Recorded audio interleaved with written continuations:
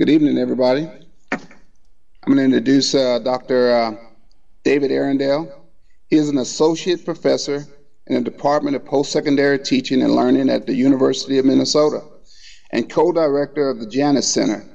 Uh, he investigates the history and the best practices of college access, developmental education, and then academic intervention supporting students' achievement and persistence. At the University of Missouri, Kansas City, Dr. Arendale was National Project Director of Supplemental Instruction.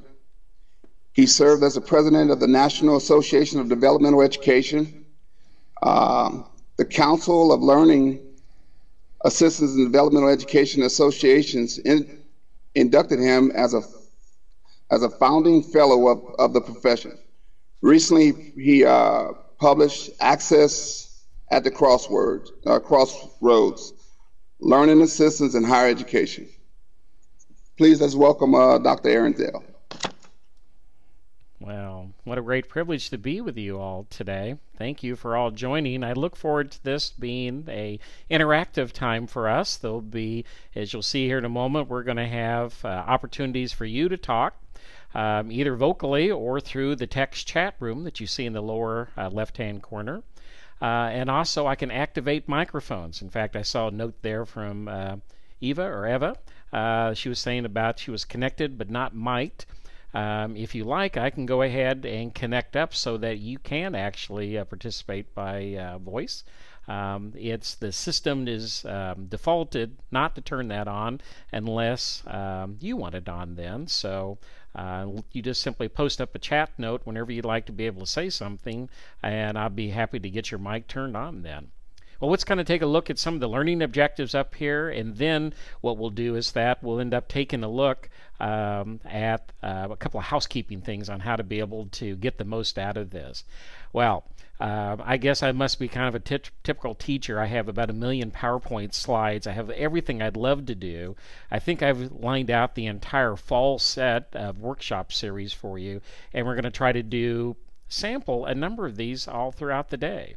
Um, this agenda was put together along with uh, collaboration with Tim Self, who suggested what would be some of the more helpful activities that would be useful for you for us to talk about, to explore.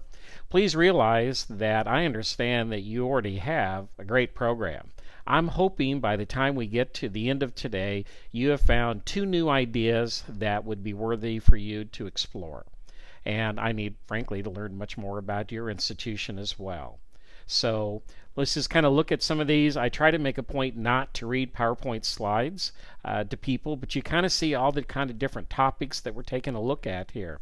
I'm extremely sensitive to the issue that this is uh, for academic advisors and counselors and faculty members who teach developmental level courses, as well as faculty members like me who teach uh, courses at the um, college graduation credit level but I infuse those with best practices of developmental education. So hopefully, we're going to be able to um, uh, reach many of us today with some practical solutions. Let me go ahead and flip over to here. Just a few housekeeping items here about the uh, about the workshop. Um, microphones can be activated for all the remote locations, and uh, currently I've got the one um, enabled for there at Austin at the campus. Uh, they have to press a button, I believe, in order to be able to have the microphone engaged, but it is hot and available. We're going to be mostly using probably PowerPoint slides as kind of a backup, but also uh, we have opportunities for not only using this little chat room down here in the lower uh, left hand corner, but also I have another room that we can go to, so don't get seasick. There we go. And in this one, it kind of has some of the similar features that we had in the other one, except the chat room is bigger. So um, you can end up seeing here's all of our conversation. In fact, what I'll do here is I'll just go ahead and clear out all of this chat for the moment and we can start up again. Um, let's see. Oh, um, I was looking for a little gizmo. You notice there along the right hand side, you end up seeing that there's something that's called file share. There are um, files that you can download to your own computer. And the files that I have up there is the a handout of all the PowerPoint slides. That's the top one up there, DE overview. And then I've got a couple other handouts I may end up referring to, uh, particularly the PASS IT books, which is our way of looking at universal instructional design. So that may be something that you want to uh, take advantage of then and download uh, before the uh, session's over with. You also end up seeing web links down here. This actually allows you to be able to press on any of those web links and it will open up a separate window in order to be able to look at that. And I'll probably suggest we take a peek at some of those as we're moving forward. And also down here in the note box, you end up seeing the um, uh, the actual link to get into this particular um, session. So, in case you brought your laptop with you to the big room, you can go ahead and uh, type um, go ahead and access that directly. So let's do our first interaction up here. Let's find out who's up here. And that is, I just open up a poll up there in the upper right hand corner. What's your primary job responsibility? I realize you may be in a site with a whole bunch of people, but let's just kind of see who all's here at the moment. So we've got live here. Looks like we've got three counselors. I'll press in one for me. I teach uh, college level courses. And I realize there may be many more people inside of some of the uh, rooms. So looks like we've got a, a um, sample here among the three groups that we thought were going to be here. And for all we know, there we are. We've got someone who's probably also academic advising and maybe teaching. That same thing is true for me. Okay. So we've got kind of an idea about who we are here. We've got the diversity that we are hoping for, so that's good news. I want to take you over to the other window that we might use on occasion. So once again, kind of moves around and this one up here allows me to kind of have a blackboard to work on. I regret it doesn't give us the permission for you guys to be able to type onto it. I was kind of hoping for that, but uh, it didn't quite work out. So at this point, I'm going to uh, head back over to the beginning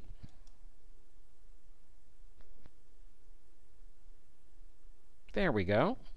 Now we're back up to where we were at. Well, the first thing I want to do rather quickly was Tim asked, he said, well, kind of what's going on with developmental education and learning assistance nationally? Because I think that the model that you practice inside of Texas is very different. No, that's not some sort of humorous joke.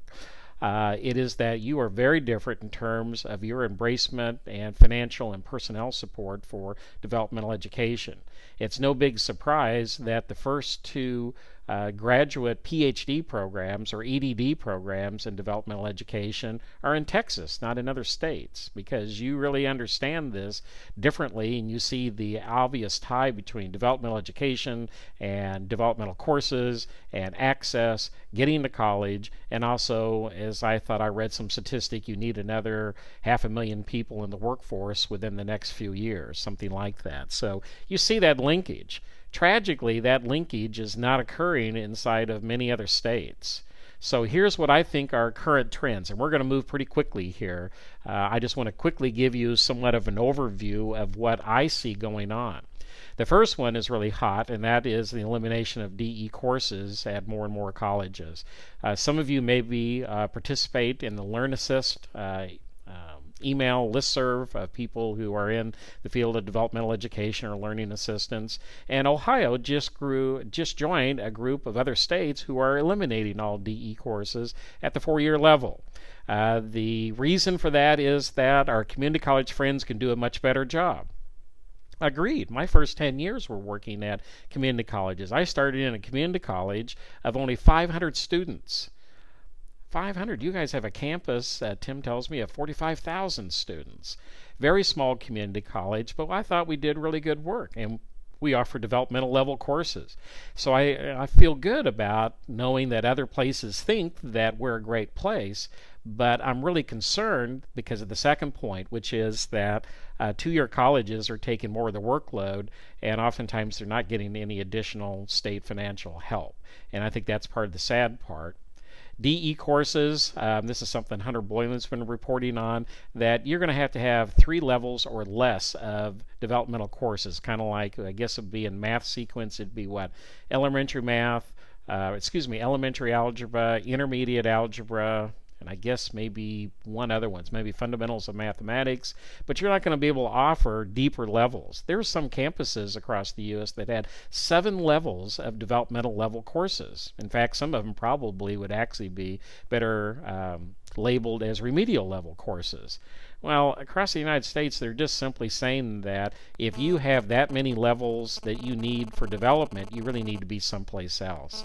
The fourth item is no big surprise about. It seems like economics seems to drive everything, and um, frankly, I think that pretty much explains whenever they try to explain a philosophical reason for making a change. I think it's really about all economics. I'm really concerned about there's fewer professionals that are conducting research on developmental education because you don't have developmental ed courses oftentimes being taught at research universities where faculty like me are required and quite privileged, by the way, to need to do research and to write and to disseminate information.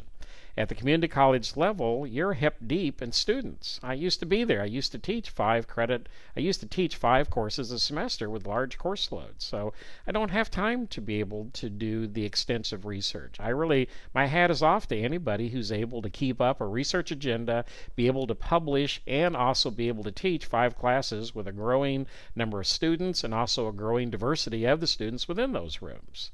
But I'm really worried that we're beginning to get to the point to where some of the good research isn't happening anymore. And frankly, I sit on the uh, editorial boards for a couple of journals.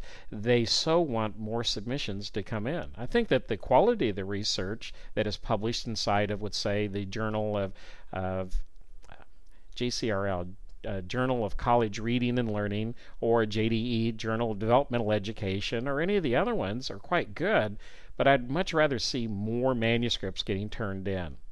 I think another issue that's going on is that voluntary uh, drop in programs are not as um, successful, and more colleges are beginning to say that there needs to be mandatory participation. That's the reason why, you know, I used to work with supplemental instruction, as some of you may be familiar. And, you know, our hallmark was it's totally voluntary, it's totally anonymous. Well, we're finding out now that many times the students who most need to go to SI sessions don't go. In fact, um, less than a third of those students who are predicted to have a lot of academic challenges even go once a semester. There's nothing wrong with SI. It's wonderful in terms of where it works best. But there's, I think, a growing trend, and that's the reason why you see some other um, similar kinds of things to SI, like peer led team learning. That's a big program that oftentimes is attached to historically difficult uh, introductory college uh, chemistry courses it's a mandatory thing. They simply have bundled in their version of an SI session as part of the course session. So that's an example of that. Or in mentoring sessions. Uh, a variation that I hear within some TRIO programs is that, well, 10 out of the 15 weeks you have to go in and go in for small group or individualized tutoring. You've got a choice for five weeks out of the semester not to go, but most of the time you have to go. And what the research has tended to show is that if you end up going and you have a positive experience, you don't go just 10 times for the semester. You actually end up going about 13 or 14 or maybe 15 times then. So those are some of the uh, current trends I think that's going on. Um, this is kind of my little uh, comment about voluntary programs. It used to be that we thought that if we had great buildings and services, they'd always show up. And what we understand from the research is that sometimes the students who most avail themselves of the services are those who uh, probably would have already had high grades to begin with. So I think that moving to more embedded programs is really important.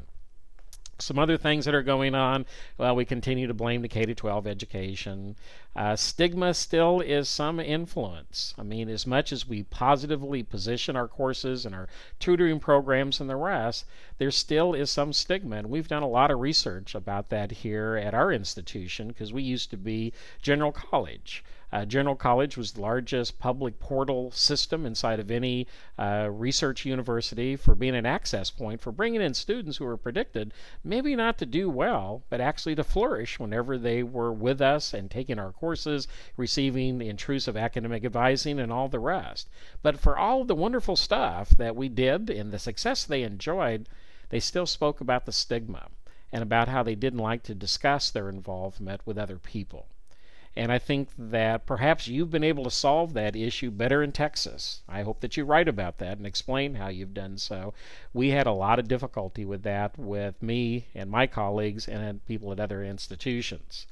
Um, I think that um, you know, once again, lots of research universities in four years talk about access and such, but frankly, you know, the economic trends means that there's going to be a lot of students who aren't going to be able to attend four-year schools. Mission differentiation, that's code language for a four-year institution doesn't want to do what it used to do. Uh, part of it is for economic reasons. I appreciate that. Some of it may be, well, maybe we've got a another institution within 20 miles of us, so why should we have a program in the exact same area? But what I find, and if you end up looking at the literature, is that oftentimes mission differentiation is an excuse given by institutions to get rid of students who they really don't want or programs they prefer didn't exist. And that tends to include students who need access education. The irony about all of this is, and I do uh, research on the history of developmental education, every single institution in America, public or private, since the 1700s has been offering some sort of academic assistance, tutoring programs. The very first institution that ever offered a developmental level course was Harvard University. Now, it may be that the students who are placed into the Harvard uh, courses for developing their reading or their math or their writing skills might have been gifted at my institution, but Harvard understood that some students were all on these developmental pathways and they need uh, more assistance and development. Um, I think that Texas has done a great job with uh, certification and training programs and following national standards. Uh, you're a home of TIDE, the Texas Institute for, um, excuse me, the Technology Institute for Developmental Education excuse me, that's at uh, Texas State University San Marcos. So you do that. You're obviously the home for many of the great standards programs, and um, God bless Gladys Shaw, who recently passed. I mean, I can't think of someone who's more influential in the field of tutoring and tutoring certification and tutoring standards for improved quality of tutoring programs. I can't imagine any uh, more than that. What a gracious lady. And she will, of course, be missed by all of us in terms of uh, questions that I'm kind of frustrated about with this whole issue about dumping developmental level courses out of four year institutions. I got really mad about this and uh, posted up some blog postings. Maybe some of you saw that on the Learn Assist, but also I posted them elsewhere. And with all of this talk about removing developmental courses, and saying that it's so much better to do that at the two year institutions, which I have no doubt that you do a great job. But no one ever asked the question, well, why can't the four year school do it? Why can't they do their job? Who has more economic resources? You know, why don't we hold them to the same standards? It seems like four year schools can't exceed your expectation levels for success. And you kind of see me go on and on from there.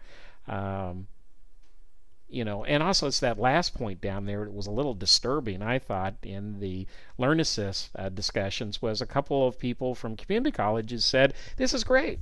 We do a great job. And I didn't get on to the listserv and dispute them, uh, but it's like, don't let the four year schools off the hook. I agree. Probably the best place, the most inexpensive place to do this is probably at your institution. But what are we going to do if you've got a four year school located out in the middle of the Kansas prairies and there isn't a community college around, and now there is no four year, excuse me, there is no developmental level courses at that um, institution out in the prairie, then what do you do? And that's whenever I get really concerned about other questions like this, particularly whatever happened to choice in America you know, I just am really quite concerned. How about the issue about, you know, land grant institutions? It's federal law that you have to serve every single student who is a resident of the state. I have yet to hear a plausible excuse for that other than, well, there's more schools around. Okay, let's go move on. I've been ranting and raving, but I was given permission to say a little bit about trends. Other things I think that are upcoming trends is that there's going to be more of a need for uh, local colleges to have alliances with their local GED centers because students who have severe academic preparation issues, well, it's because of point number two is that I've already seen this uh, already being discussed for the community colleges located in California of putting in admission requirements part of the problem in California is that they literally don't have enough money in order to be able to pay. And now they're starting to use the excuse of, well, if you're not prepared enough and we can only admit so many students, maybe you should go off to a GED center somewhere and that really concerns me a lot. Uh, at one of my community colleges, I was also the GED director, so it's not as though I'm giving any slight to GED. I think they're wonderful programs. Frankly, I think in a lot of ways they did much better than um, probably some other programs that are out there operating at colleges. But what I understand, though, is that maybe this is the time for us to start experimenting with them, and for all I know, maybe you already do that. Oh, I'm slate. Um, I'll make sure to um, deal with that. Thanks for giving me that heads up. Let me see voice options. I'm going to go ahead and put myself on high volume, and then you let me know if that's gone too high. So let's keep moving forward here. Uh, upcoming trends, I think that putting developmental education like activities inside of courses is a big uh, trend. Also, I think that, and you're going to see this as a major component today, the way you do that is through universal learning design. They have different phrases that are out there. Maybe you're more familiar with universal instructional design. I chose to use learning design because you, as academic advisors and counselors, you probably don't think of yourself as being instructors. Maybe you do. But I tend to think of the more universal term as learning design. I won't go into all the nuances of what the difference is between ULD, UID, and there's other variations of the letters. I honor all of that um, scholarship. Uh, Jeanne Higbee, who is the senior member here in our department, and um, probably many of you are familiar with her work. There's also some of her books are available for downloading uh, through that web link. We'll go over to that site here in a little bit. Um, she explains uh, clearly the theoretical underpinnings for each of those theories, how they are similar, how they are different. Today, I'm going to be much more of a practitioner focus. Here's a dream. This isn't a trend.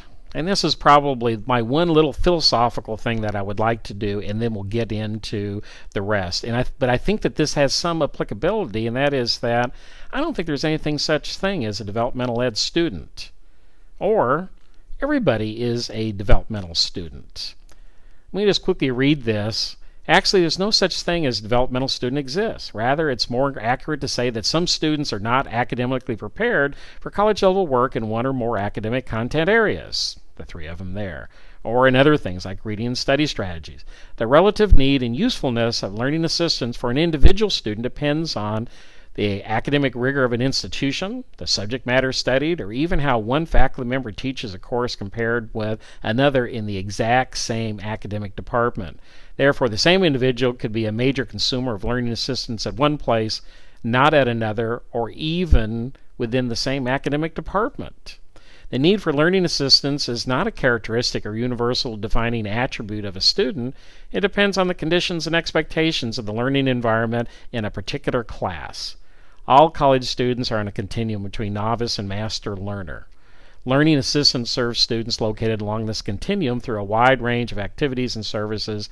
The same student is often located at different places on the multiple continuum lines simultaneously, one continuum line for each academic context or skill. You know, why am I so fussy about the words? Well, it took me about six years to write this book, and I really believe in that. You know, and here's my next point up here. Do you declare a student who enrolls in a single poetry class a poet? I guess I should make this audience participation. I don't think so.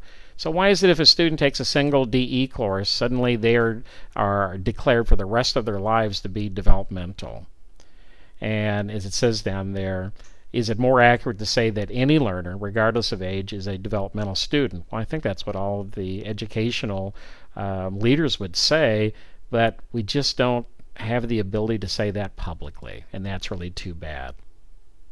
Well, let's get into some more practical things. What do we already know about student success? Well, we know that we've got to front load services and put the very best programs up front. Don't wait till later on. So that's no big surprise. It's the reason why orientation programs, bridge programs, uh, SI programs, and initial um, uh, courses, intrusive academic advising, students in with counseling programs is so important at the front a staying environment. You know, it's both the responsibility of the academic side of the of the world as well as the social or the psychological. And of course, you as advisors and counselors know about all of those issues there.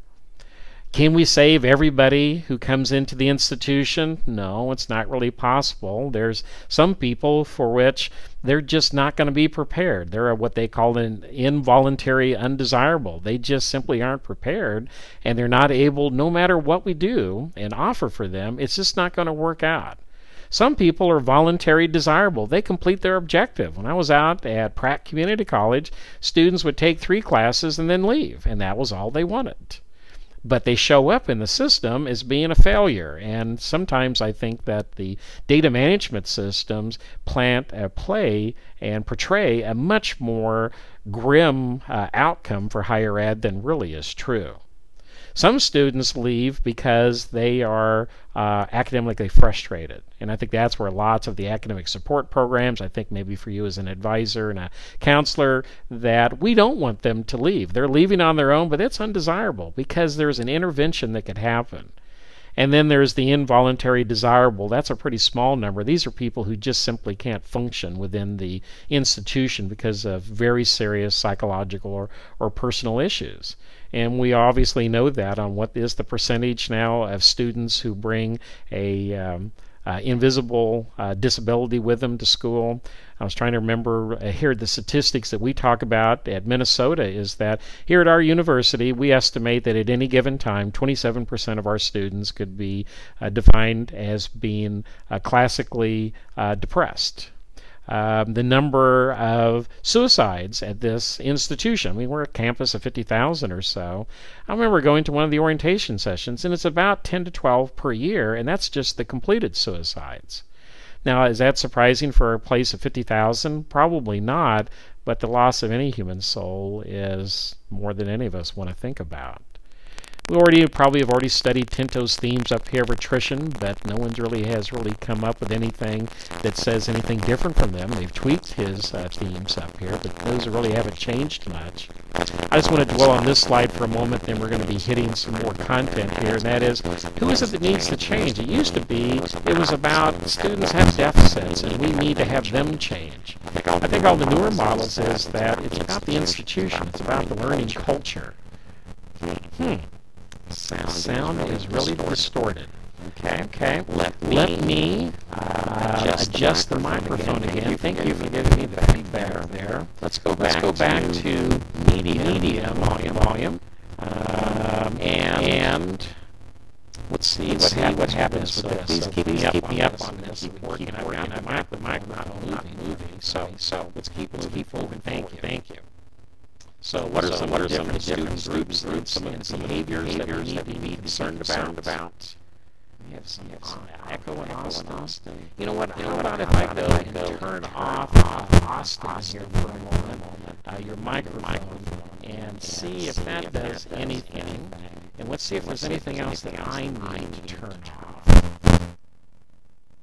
I'm going to turn down my speakers. Okay, how's that sounding for you, Connie? Does that sound any better at this point?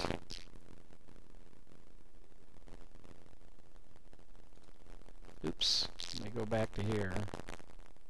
Still distorted. No, still static. Okay, let's do a little bit of problem solving here for a moment. Um, better now. I know one of the things that happens is there is a lag of about 10 seconds. Okay. Well, let me go and turn my speakers off here, and we'll just keep um, checking the feedback then. Thank you very much. Uh, what are some of the different student groups? Well, one of the things we know is that it seems like a lot of attention at most institutions are for the high risk students and the honor students, and sometimes the average students get left out.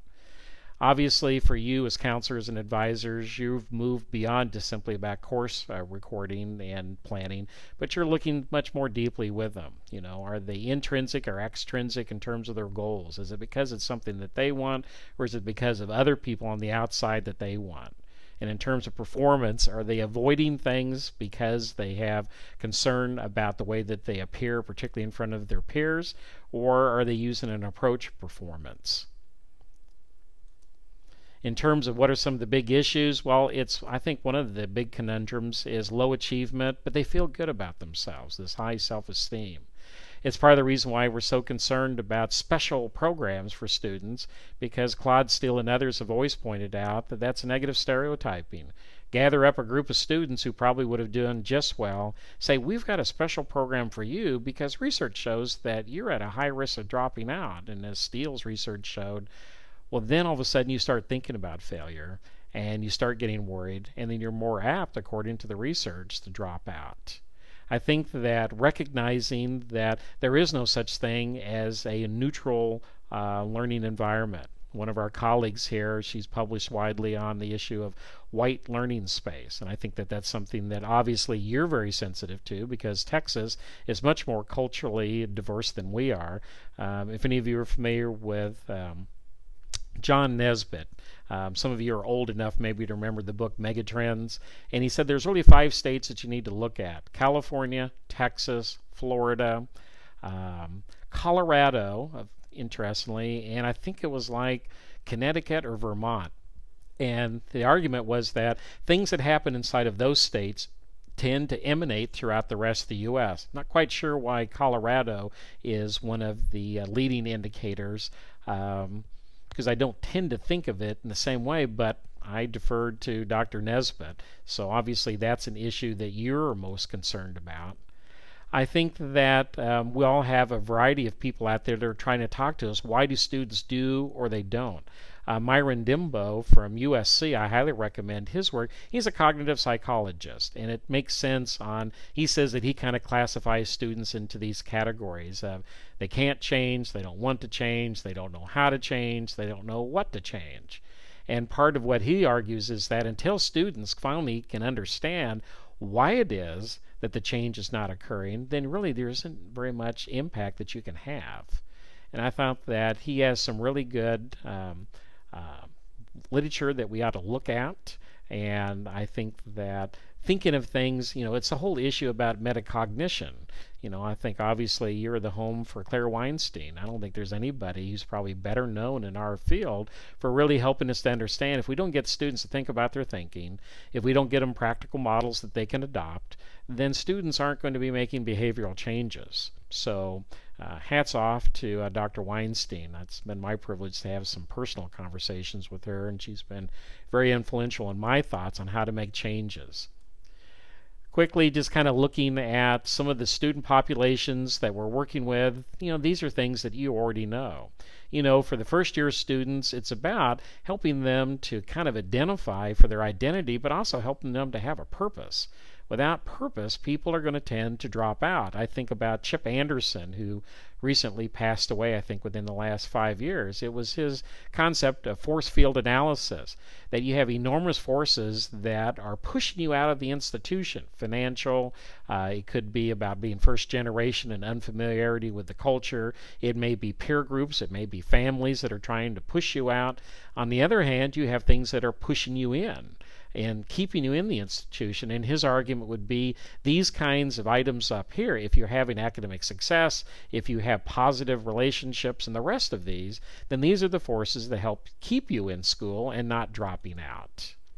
In terms of the underprepared students, well, for them, it's this idea of them feeling like that they have some control. I work with uh, students in my own class in terms of we just gave the first major examination And students came in to see me because some of them got D's and F's. We have a whole bunch, and we're going to give an illustration coming up here pretty soon on what are some of the strategies that I've built into my class in order to be able to help them be more successful. I'm trying to embed best practices developmental education inside. And whenever they come in, we talk about what behaviorally did they do uh, before the exam and how they behaved on the exam. And one of my major goals is getting them to understand, using a concept from the uh, Becoming a Master Student book, one of the power processes is uh, you create it all, and that you're responsible. You earn your A and you earn your F. And I find that many students like to think that school is like a lottery, that you uh, buy a ticket and then maybe you get an A or maybe you get a D, but really it's all a matter of luck. And as you kind of notice up here, part of it is it really is psychological. And I think about that's part of what you're doing as an advisor and a counselor, and frankly, as a faculty member, is dealing with the emotional side. And frankly, I really have come to that conclusion. I should have done that 30 years ago. But I think about how when I walk into class, I, number one, I always kind of meditate my office, not TM like, but just kind of get quiet, turn the lights out for about 15 minutes before I go in um, to go teach. And part of it, I'm just trying to quiet my spirit, be in a good place, and then go in and make sure that I'm attuned to not only what the students are saying, but also what I'm feeling. And I'm just so not that. Talk to any of my ex girlfriends. Um, you know, they'd be shocked that I suddenly have become much more emotionally attuned. Actually, I was kind of trained by my last ex. She was a good woman. Um, but it was this whole issue about making connections with your students and understanding that I have the power to emotionally destroy them. And I don't think I ever really understood that. I, I don't do that, just to make sure you know that. But I really have in the last five years decided one of my top three roles when I go into the class is to be an encourager. Boy, they never taught me that when I was going through grad school as a historian. It was all about content and effectiveness of presentation of content, but never was very much attention about people. And I'm very sad to say it took me a number of years to kind of understand that while it's an enormously complex issue about talking about students of color, we're not going to read all the way through the slide here. But I think this whole issue about being sensitive that there is no such thing as a neutral environment. I have a colleague here at the university. Uh, he is a scientist. Won't say anything else to self identify him. And we were having quite a discussion about multiculturalism and cultural issues and sensitivity to identity. And the reply from the uh, faculty member was, well, I teach facts. I teach science. There is no culture in science. Is anyone shocked about that? You're more than welcome to put in anything on the chat room on that. I I'm not exactly the most sensitive person on the planet, but even I understand there is no such thing as a neutral environment. And I have uh, read uh, some major books talking about how chilly the environment is for people of color and females in many of the occupations within science, technology, engineering, and mathematics. And so, this whole issue up here about the sensitivity about the culture um, and understanding what it is that we as an institutional culture need to shift to is really powerful additional ones up here talking about how we need to change our pedagogy inside the class in order to meet their needs. Not that we have to change, but simply to make a more conducive learning environment. Probably one of the best things that I do is a lesson I learned from another colleague of mine is that I have a 10 minute interview with every student in my class. I have 150 of them. So I'm no saint, but I find that it is so effective for me to make the connection with the students Many of them say they've never talked to a professor personally before. They've never gone to a faculty member's office. And also, no one's ever listened to them about what would make the class even better. So I won't go through all the different things that they've been telling me, but I got to tell you, it's probably one of the most powerful changes for my curriculum is on the basis of what they've done. One of the things that we use is something that's called Map It, and I didn't have a link to this uh, for some reason um, placed up yet. I'll try to place that up before um, we finish up for today. But if you just simply Google map it, make sure you do map and then the hyphen it and then put um, C R D E U L. then you'll get to an online version of this. This is a instrument to take the cultural climate of an institution and it's customized for these four different groups up here. And it isn't like you're going to add up a score and come up with a numerical value, but it'll create an incredible amount of conversation data for people to talk about, as it says there, creating a real change among the campus culture. So sometimes we kind of zoom by things quickly here. I don't. I want to make sure to give honor to this. Frankly, I think that the instrument has been underused. Um, you know, we created it, we did some good work with it, and then some of us have moved on to some other things. But uh, I highly recommend someone at least taking a look at that. What is it it takes to retain the average students? Well, this is the last point down there, and I know you already are doing this, but Noel Levitz, the student retention firm, talks about this all the time that our institutions creating programs that systematically deal with all the students on campus students in terms of those with a disability. We're going to be talking about that coming up. And that helps to drive part of the reason why we're so interested in universal instructional design or universal learning design, whichever you want to use. Because what we operate on is that the modifications we make inside of a classroom from an individual student, if we would just take the next step and extend that for everybody inside the class, it actually increases success for everybody. Well, here's our first scenario. So it gives a chance for you guys to do some talking and also to do some work on the uh, chat room. So we're going to stop here. Scenario A historically difficult course. Lecture note taking is difficult for most of the people. A note taker is now in the class helping one student with a disability. Other students want help too. Student Senate poses demands for more campus academic help. I want you to take about two minutes or so at your group, and I realize some of you are by yourself, but I want you to think what would you do about that? How could we take the resources and time and effort for this one? How can we do something that helped everyone? So please stop for a moment and discuss this amongst yourself, and then let's come back and either uh, use the microphone, send me a message, or let's do some chatting. And what I'll do is that I'll shift over to the other screen uh, but I'll let you kind of see the question a little bit more and I'll quit talking. And then I'll shift to the other screen and let's get some interaction.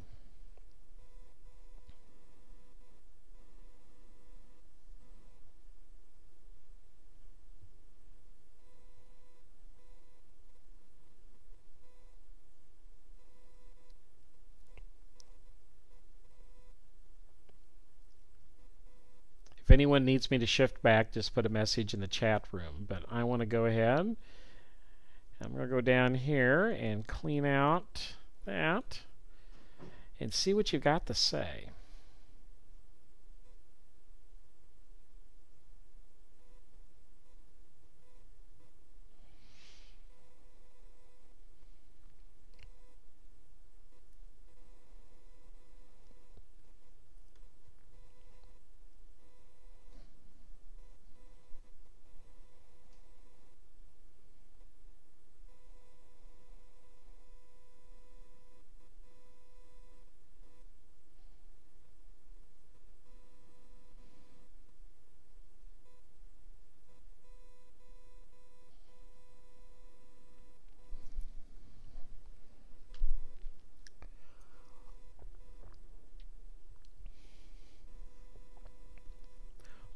Here we go. I'll turn you on as well. Um, that's what I wanted. Just a second, let me catch back up with you here.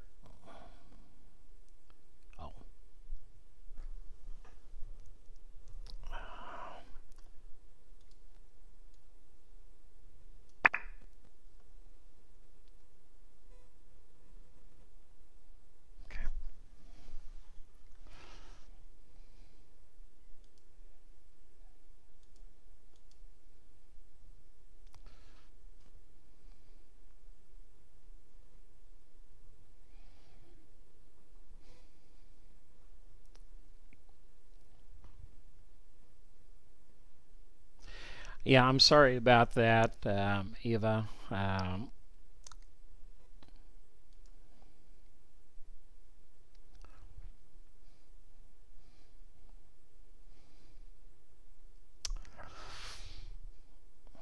there's a button that I need to push.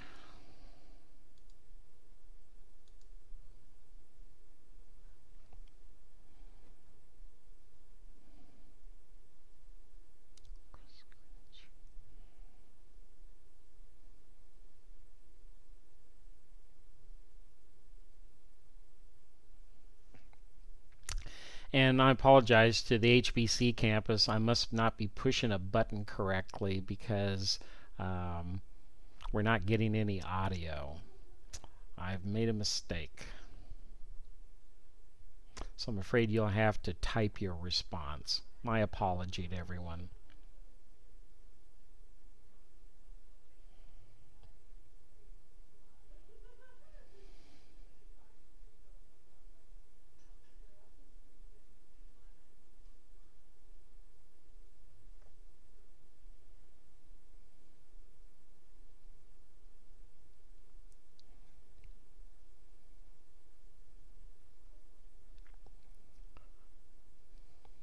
Like I said, we're not able to hear you in Austin, so could you type some of your response for us?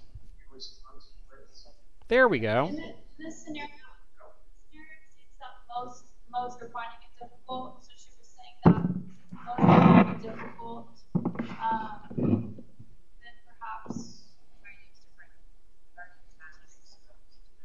Yeah, the class shouldn't be, the majority shouldn't be focused on those. right, right.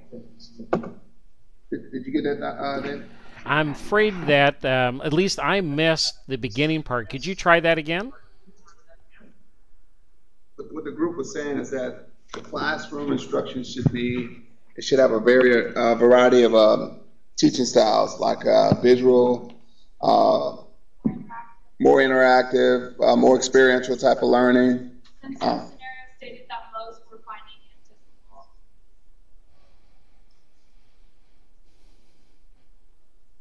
Okay. Did you, I missed the the female voice at the very end.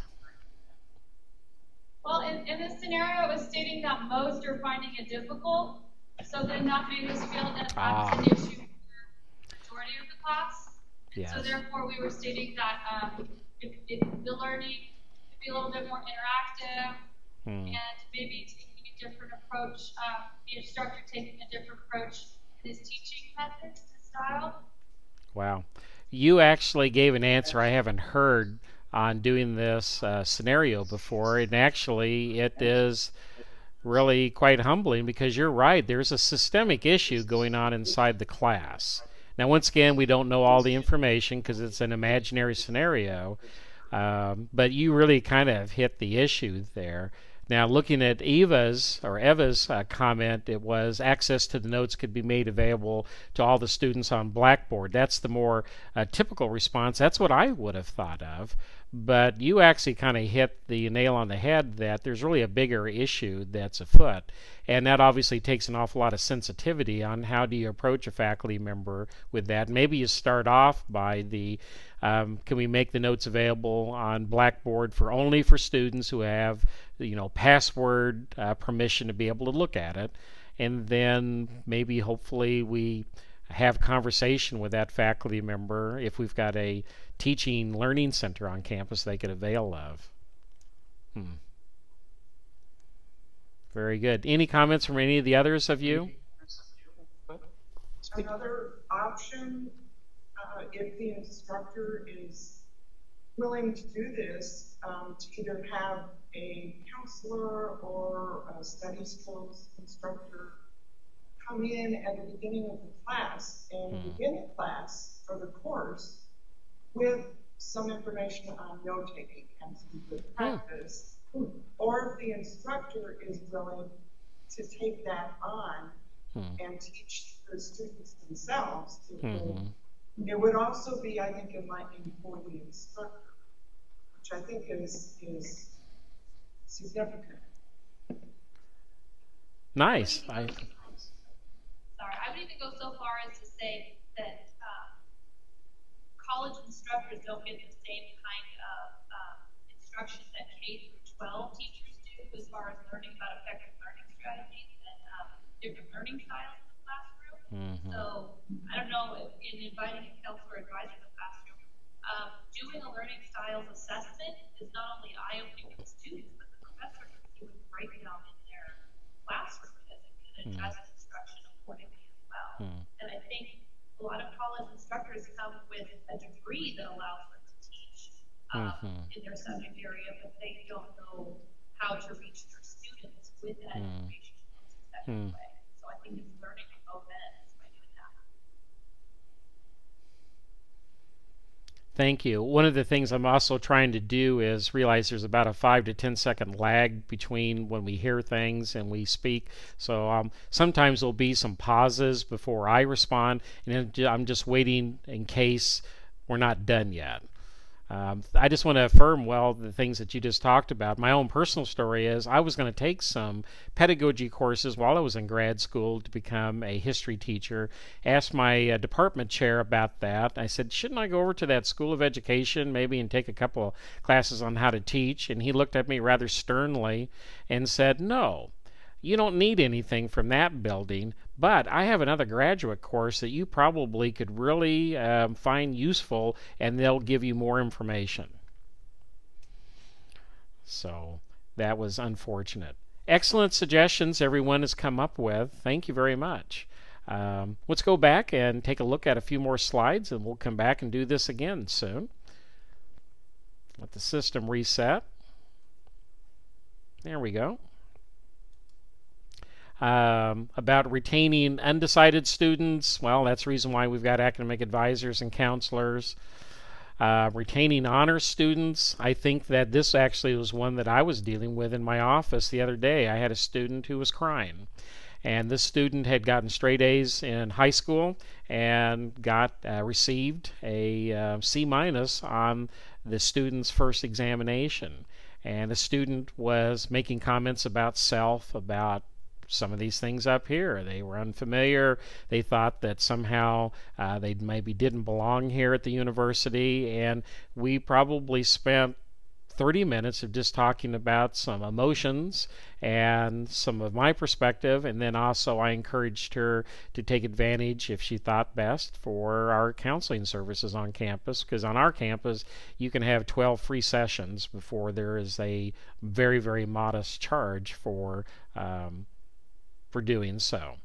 Um, so once again, you know, I'm finding that the more I go along is the more that it turns out that it's about human emotions. I'm going to go through these really very quickly here because these are probably more applicable sometimes for learning centers, but at least these are inside of your handout if you choose to print that out then. These are all categories of best practices. I want to get us into um, um, universal learning design and talk about some very practical examples that could be applicable for advisors, counselors, and for faculty members. So, with your permission, I'm going to probably reference most of this material. I just want to value it and then encourage you to take a look at it. Um, there's lots of places which have come up with categories of best practices. Probably the uh, best example of that would be Hunter Boylan's book that came out a few years ago, in which he looked at uh, best practices. It was done in cooperation with several other hosting organizations that commissioned the National Center for Developmental Education to identify those. But these best practices up here have been listed by a number of research studies and surveys over the past 30 years terms of organizational administration, it seems that having things consolidated and centralized seems to be kind of a major issue. That somehow being an organized system rather than a decentralized system is pretty important. Once again, I realize there's too much detail up here to read on the screen, but if you look at it on your uh, handout, you'll notice I have the website located um, on any of these little case studies, and you might want to go and, and take a look at them up here what they said, because I interviewed the director of all of these developmental education centers or whatever they call themselves. They it's an interesting field. We have 165 different terms used to describe developmental education. And part of it has to do with politics, part of it has to do with a unique uh, choice of a name at a particular institution. You know, it's kind of like you go across the United States, you don't have 165 different terms for the math department. There might be some variations of the name, but you kind of will know what the math department is. But as you go across the United States, uh, sometimes it's a real fishing expedition to find the learning assistance or the development education unit. So I interviewed all these directors, and this person said, well, the key thing is that it's really coordinated and centralized. And that's the reason why things go better. Exact same thing here at Penn State, large institution. Actually, it's smaller than your institution. But once again, it's all about they bring together all their services. Now, the applicability of this for our conversation today is how is uh, the Office of Disability Services on your campus uh, positioned in regard to the counseling center or advising services or the developmental education unit? Um, I did not check up on that. I should have done so, so I apologize. I should have learned more about your institution. But one of the things that Penn State said is that putting all these centers all close to each other means that students can easily find them, transition back and forth. People can be walked up and down the hallway in order to get from one office to the next if it turns out another one might be a, a better resource. So at your campus, maybe someone could reply on the chat room in physical location, and this isn't a judging issue, it's just an observational issue, is the Disability Services Office geographically close to where the counseling center is at? I'll just wait for someone to respond on the chat room.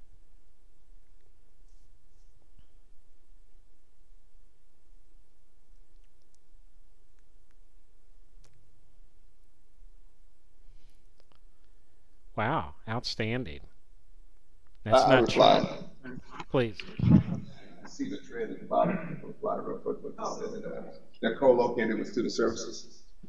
Um, pretty close, wherever the logistics allow for it. Mm-hmm. Um, they're located close to student services. Each campus of the many campuses that we have may be slightly different, mm-hmm. but they're most closely connected to student services. Hmm. That's excellent. Um, on our campus, they're not. They're actually located probably half a mile from each other. That's not a good practice. Um, good people um, in both places, but um, that's one of the penalties for being a large geographic campus is that sometimes they don't put all the services together. And you talked about sometimes they have to go where the space is. Um, that might have been kind of true for where they put the disability services office at, but it's at the far end of the campus in the same building as alumni relations.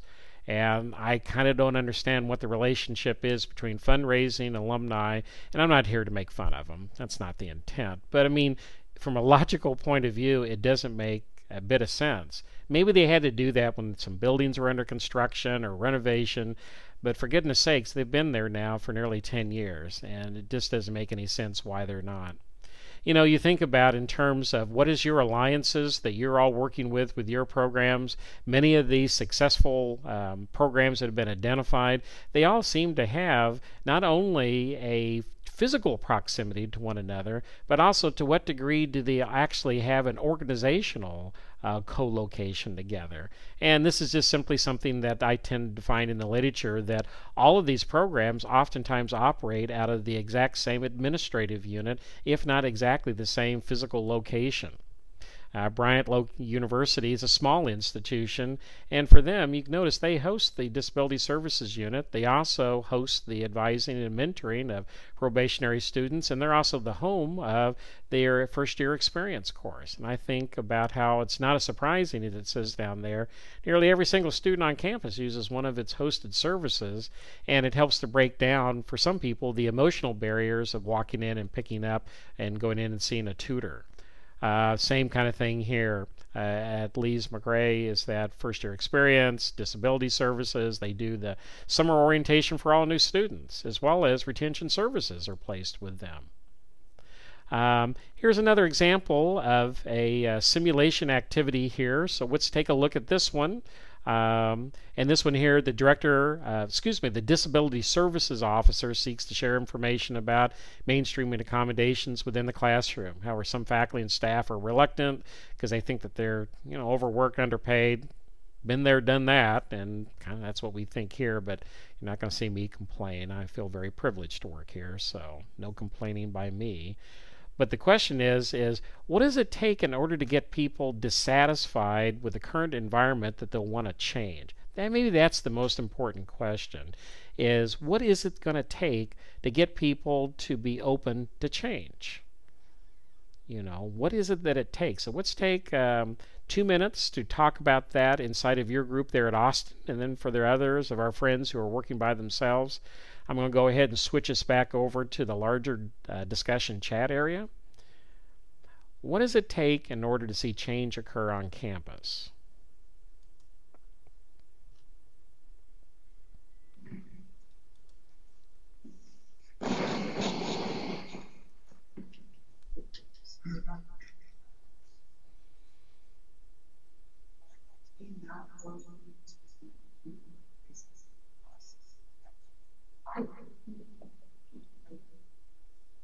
I think you might be relating to the, uh, the fact that his campus, disability services inconvenient.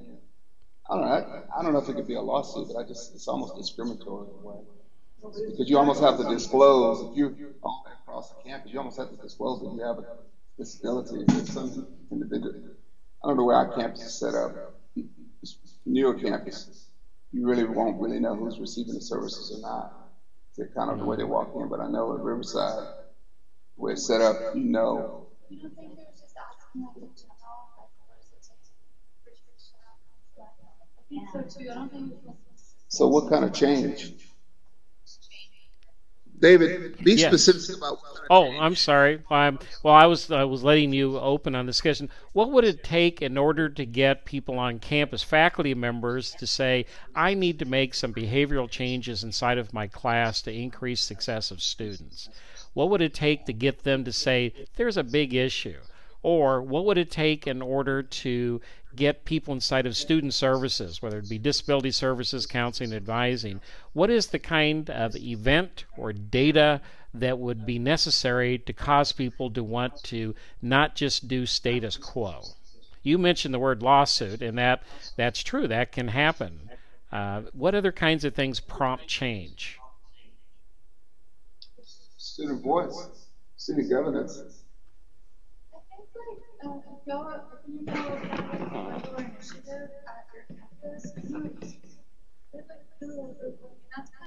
you put the microphone a little closer to you? Or speak up.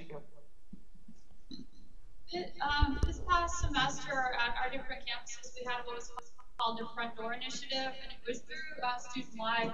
But really, it, it really got sort of um, a lot of brainstorming happening as far as like what does it take to make change occur on campus and we just sort of talked about how we could improve our customer service. And, and really, like, what it kind of comes down to is a commitment by all and, and, you know, sharing the same vision and sharing that commitment. And that may sound, you know, just pretty open in general, but really that's kind of where it can start to, to have staff and faculty that are committed to students and who are very student centered, I think. So uh, sometimes I think it's a matter of uh, sort of being reminded um, that really we are here to serve. And um, that was just kind of like a starting point for us and what we talked about is having that commitment to serve um, students to the best of our ability. And mm-hmm. whether that's through um, something as simple as when you have new students on your campus and they're, you know, they're feeling a little lost, taking the time to walk them over to another office if that's where they need to go and just really going that extra mile to provide that, that service to students. And those little changes actually really, um, although they were already happening, they were increased, I think, at our campuses. And, and those little things are a good starting point for change. Excellent. Um, we had a customer service program which we purchased from the Noel Levitz Corporation, and everybody within Student Affairs participated in that. And it was very behavioral, just like you talked about. It's you not just simply sending someone over. You know, I talked about earlier about how I worked with the distraught student.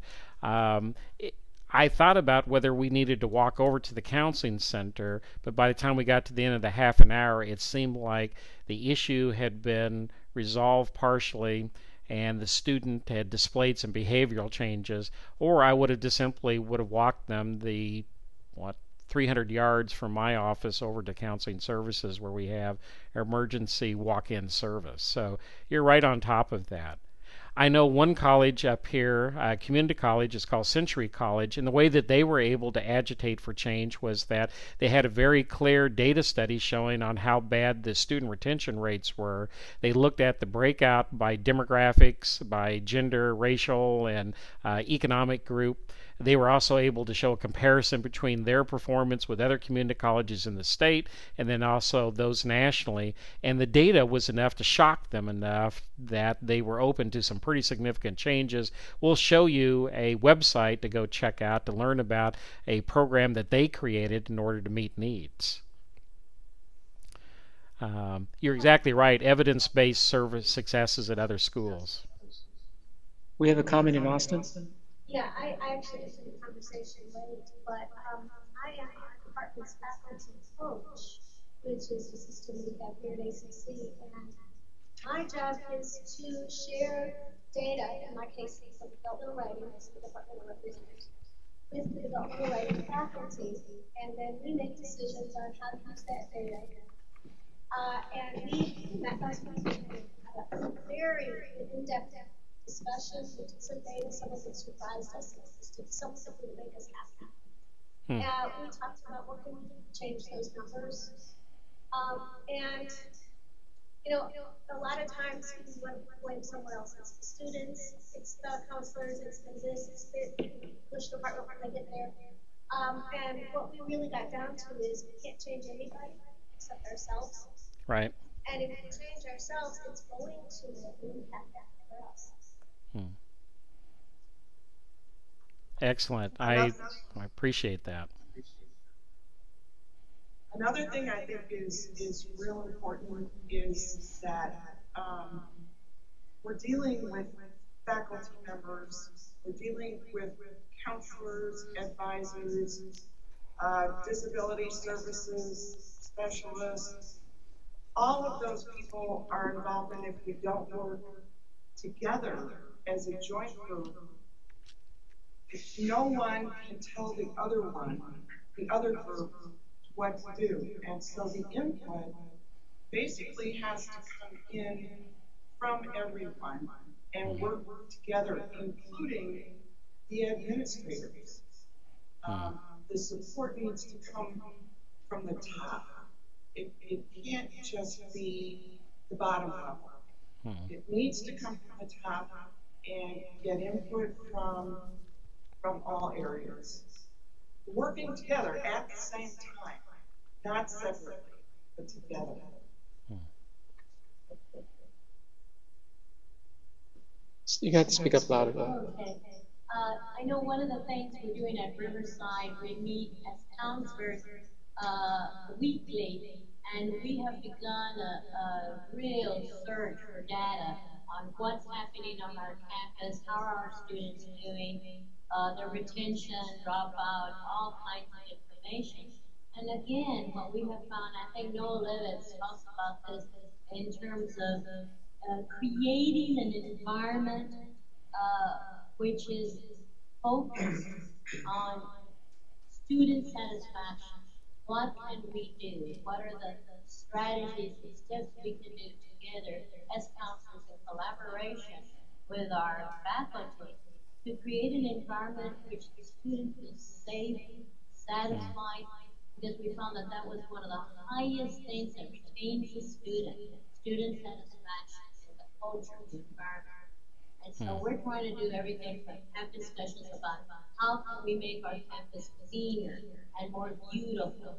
How can we hmm. uh, collaborate with our faculty in our gateway courses, English, psychology, and our developmental courses so that we can collaborate with them because we're finding out that the students are dropping out by the third week, fourth hmm. week. So we want to get in there before then to provide support, to provide additional information, to be there. And I think the other thing Noel Levitz talks about is consistency.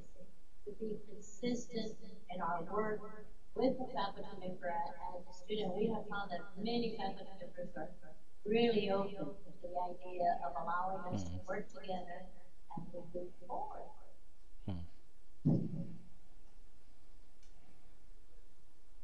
Well, excellent. You've you've already kind of reached the, one of the issues, which was how do you have a climate for change, and obviously you have one. Um, uh, it's what Arne Duncan hopes, you know, that public schools do is that to use data. And I know he's very controversial, so I'm not trying to politicize all this, but I think he has a good point is data-driven change is really the only way the change will occur because it not only shows you what the present condition is, but also, as you pointed out, what's changing now. I mean, um, and the numbers don't lie. I mean, about in terms of students dropping out and student satisfaction. My last institution, we used the Noel Levitz Student Satisfaction Inventory. Not here to push a product. I'm sure there's lots of other things that are out there, but it was pretty shocking whenever we started looking at the student satisfaction, and I think that can be an agitation what this president did at Century College was he had repeated meetings with faculty in small groups where he shared the data. So rather than do one big um, session where he brought everyone into the amphitheater, he went out and did it academic department by academic department or service unit within student services and then had a conversation. You talked about the issue about are the head administrators online. Well, here you've got the president who actually is carrying this rather than designating someone to be the student retention person. It's actually about student success because we don't want to retain students, we want students to be successful. Retaining sounds like we're holding them against their will. And I think that that's, you know, if you see that I've used that term, then I apologize. I should have used the uh, more progressive term of student success. Well, excellent. Let's go and go back to um, look at a couple more things here. Um, we hadn't really designated when we were done for the day. Um, I think that we very well may be done-ish by 2:30. Um, I'm going to click by a couple of slides here because I want to get us to the session about universal learning design and how it has an impact with counseling and, and advising. And then I'd like to hear what things that you are doing um, as well. Some of these are all things that once again come out of the Hunter Boylan book, so I'm going to kind of click by some of these here because I think that some of this is good information, but I'm not sure it's com completely applicable for our audience here, which is primarily advisors and counselors. So once again, please go to the handout in order to uh, see some of the uh, some of this material. Um, and I just ask your forbearance. I'd rather put a slide in and skip over it rather than not put it in at all. I'm not sure if that's just annoying. Um, maybe it is. My apology. Sounds like you've got evaluation that's going on and also strong institutional support. There was a whole cluster of those in terms of, of this. You talked about uh, campus-wide responsibility is what I heard one of you talking about. That's what Noel Levitz would say is don't have a um, student retention director for the campus. You may need someone to help coordinate, but it's everybody's business. Well, what have we learned thus far? This is kind of a summary for all those practices. Well, you need to be comprehensive. Um, there's really no best place to put developmental ed type activities because they operate in different places. Certification is key, lots of training is key. Oftentimes, disability services is bundled along with learning assistance. Lots of different names for the programs. Um, serving upperclassmen, graduate, and professional school students. A lot of times, you know, uh, learning centers kind of focus on the freshmen, and people forget about the upperclassmen and the graduate and the professional students. And then, obviously, continuous evaluation. This is where I wanted to get us at. Universal design is about making buildings architecturally accessible to everyone. Universal learning design is talking about reducing barriers uh, for all students, not just for those who have a diagnosed visible or, or invisible disability. And as it says there, the accommodations that are provided for a few are oftentimes helpful for everyone we could go spend a whole half hour looking at what all precisely the design features are for universal learning design. My recommendation would be, and let me hold on just a second here. I want to take you to show you something, and we'll come right back. And that is in term up here of these file uh, shares. I'll make sure we come back a couple more times. All you need to do is, I believe, on your end, is to click on something and then save to my computer. And I would recommend that you download all three of these publications here because everything I'm going to be talking about for probably probably most of the rest of our time together all are found in much more detail. The great thing about this is that this PASS IT project was a federally funded project by the government for uh, taking disability services and embedding it throughout the institution, taking it and broadening it. And these uh, volumes here are not just based on what we did at Minnesota, as good as that might be. They were built on examples from two year, four year, medium, small, large, public private institutions from across America. So I highly recommend that for you. Here we are. So these are the kinds of design features you think about. I think that probably we're going to be looking at respectful and welcoming learning environment as we talk about how you could end up implementing this within advising and counseling. And these examples here come from two articles that come out of that PASS IT book. One's by the University of Georgia, where they looked at universal design with counseling programs. And then at the University of Minnesota, their examples were how did they incorporate that into their academic advising programs. Um, so basically they kind of fall down into kind of these five categories here. And once again, please understand you probably do all of these things. I'd like to hear what additional things that you do in addition to what these folks are already up to.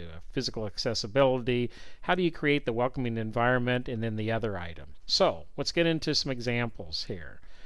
One of them that no doubt you already follow, or something that would be a, an advanced version of it, would be developmental academic advising. Not advocating that for you. I already make the assumption you already do that, but that's something that's real important to us here. And we actually go through, the advisors have a copy of, of Ender, Winston's, and Miller's book. You know, it's such a powerful book in terms of a different approach for advising. It's about the holistic approach. And that's how come we think that uh, universal learning design applies to um, uh, counseling and advising is that because it needs to be from a holistic point of view. I think maybe there's something that the PASS IT model, which Jeanne Higbee and other scholars here and other places kind of bring a little different twist to it, and that is that we have a more inclusive definition of diversity. Now, you may share it too, so I'm not saying this is unique, but at least this is what we thought was kind of unique about our approach. We also have a bundling of academic advising and disability support working together um, we have yet to physically co-locate our offices, but that's what we're working on because we believe that that is the better model. And also trying to be able to create a place where students feel safe to disclose to their academic advisors their disability issues. I know that's a very sensitive issue, and we uh, want the disability office to be very careful and clear about helping students to self-advocate for themselves uh, but realize that they may not choose to uh, advocate or disclose. I mean, on my campus, I have students who won't disclose that. I also have students on campus that won't disclose that they're student athletes because there's a perception that they're going to be discriminated against. So these are things that we do. All of our materials are provided in alternative formats, so things are available in Braille as well as in audio form as well as in print form. We try to make a point to be much more verbal when we're having discussions with students, particularly if there's any visuals inside of the materials. I actually do that inside my own class. I'll explain that later. We're working to try to eliminate multiple signatures for uh, forms that typically everyone's going to sign off on. The reason we think that that is a design issue because it just simply makes students go through more hoops. They have to go to more places on campus. It takes them more time. And then you layer on top of that, if they also happen to have some physical mobility issues, we've just made things harder. Same thing also with we're working hard to try to end duplicative uh, doc documentation. If people have stuff entered into computers with passwords, then we try to make sure we don't make them have to go re enter that into additional databases simply because why do we need to keep adding those things as additional layers. Another item which we don't do inside of our unit, but some of our units on campus are doing, is that they're now offering Skype and other online means to do academic advising appointments with students. I'm just curious here if I could stop for a moment. Is any of that happening at Austin uh, in terms of uh, using uh, distance learning in order to reach students that have difficulty coming in because of work, family commitments, or just simply the geographic distance?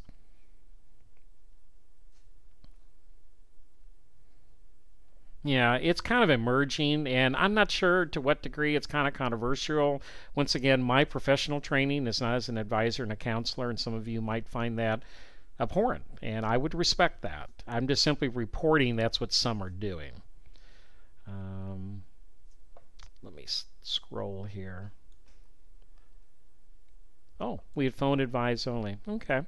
Uh, well, that's a major step because it used to be on our campus we didn't do anything for students who were distance learning. This whole issue about adding this additional channel in has only really happened in the last couple of years. I mean, I still come from a community college world where you have student services offices open until like 8 o'clock, two or three nights a week as much as I understand, maybe the counseling is available at night and health services are available, but I don't think there's much of anything else available after about 5 o'clock around here. And we work at a pretty large place. The, our academic advisors oftentimes are, are working with students who are new immigrants. We have a real uh, large population of uh, Somalis, Hmong, and Tibetans that attend the university, as well as uh, students from other locations lots of East African students, uh, recent immigrants, and such. So, our advisors, and I can't tell you as much about how they do all of that, I just want to list it, and that is that they talk about cultural implications and they believe that they bring a, an additional cultural sensitivity in their conversations with the students then. Uh, for them, they talked about uh, a welcoming physical environment. Well, you know, it's it's a given. Everyone's going to have physical accessibility, but also, this one obviously is an issue for those of us who have less resources and lots of people in a little room. There is a drive for all of our sessions to be available behind uh, doors um, with walls. Um, for some of our advisors, they don't have a private office. They're out there in kind of the bullpen areas, or they're located inside uh, with the um, um, separator walls, but they all have access within very close distance to an office with walls that go to the ceiling and with a door that closes. Uh, they, also, uh, they also make a point to have lots of real positive kinds of images and such. You can see that inside the articles. You can see the kinds of images here. Uh, uh, one of the advisors was talking about, actually several of them talking about having different kinds of seating, uh, furniture available for them. Some of you probably might say, say happy to have a room. Uh, these, these advisors, advisors were get additional space. space. Uh, one of one of them um, actually, um, has, has a, sofa, sofa, a straight back chair, chair, and, and another, another kind, of chair, that students, actually choose where they want to set, set at. Oh, oh. Sorry about Sorry that. About sounds, that. distorted, distorted again. again. Let me go down, down, and, and look at my microphone control. control.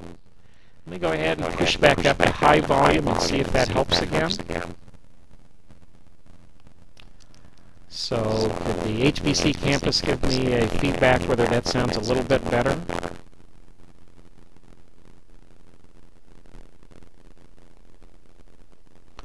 Not yet. Hmm. Okay. Um, what else can I do? Let me go and turn Austin's uh, microphone off for a moment. So it looks like I'm the only one that's on at the moment. So does that seem to help any yet? Slightly better. Much better. Okay. What I'll start doing is I will watch the uh, chat room, and if someone would like to speak at Austin or any of the rest of you, just put a message there, and I will turn your mic back on. They told me that you're supposed to have multiple microphones on, but, you know, something's happening. I was really kind of intrigued about this issue about uh, the choice of giving students seating. Uh, they also, inside of these rooms, have a choice either between low level incandescent or uh, overhead fluorescent. And also, they have talked about how they have their chairs on the little pneumatic thing so that they make sure that their eye level is equal with the student. Uh, one of them told a, a, particularly compelling story on how this person was having interaction with a, a, a student. Uh, the advisor happened to be really tall and um, the interactions weren't going all that uh, well. And then one time they were doing another visit, and the advisor's chair was broken, and the little pneumatic thing blew out, and his chair was really low. And since he was tall, he was now on equal eye level. And the session went better, and he asked the student about that because he thought he noticed that, and the student said, Yes, I really don't like looking up at people whenever I'm involved in an academic advising session.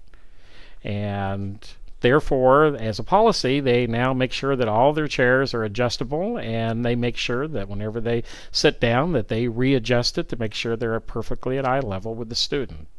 So, interesting choice. Um, let's stop here for a moment. Let me go ahead and go over here to the chat room.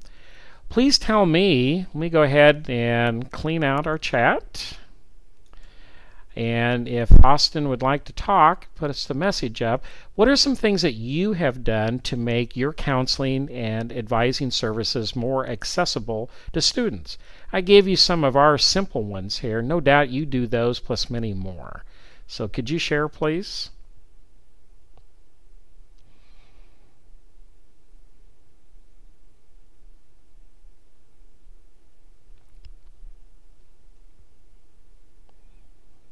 Or if you don't have anything additional to that, then that'll be okay too. But I just want to make sure I don't just keep moving along and I don't give you guys a chance to share as well.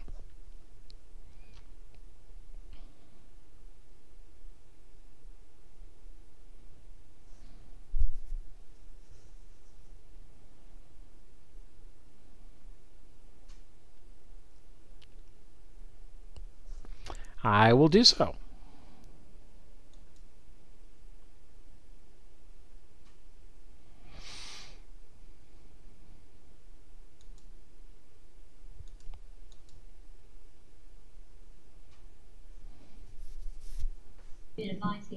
Area center, and we do have individual offices. Uh, and we've been very conscious of this eye-to-eye contact, and of, as counselors particularly, we're trained in that arena. But what we do globally is, I'm not doing anything else. we do provide a minimum of two evenings a week for the offices. We open to six thirty.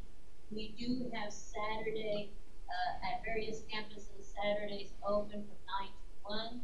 And, and, uh, uh, we do allow, of course, a walk-in system session, but students can also make appointments with us. Mm-hmm. So there's a, a lot of different levels that where we can address uh, student needs. We have another comment. Something that I've noticed over the years, and I've been at ACC Whiz only 31 years, but as we, of course, go to less duplicity, less use paper, we merge that over onto the um, onto the computer. And so most all of our records and our interactions are, well, I shouldn't say interactions, but our records are on computer.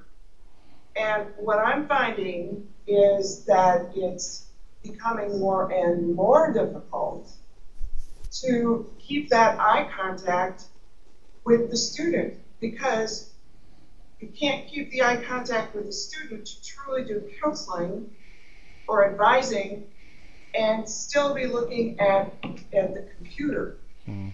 and entering data when you go when you have to go from system to system it, it is a contradiction of terms almost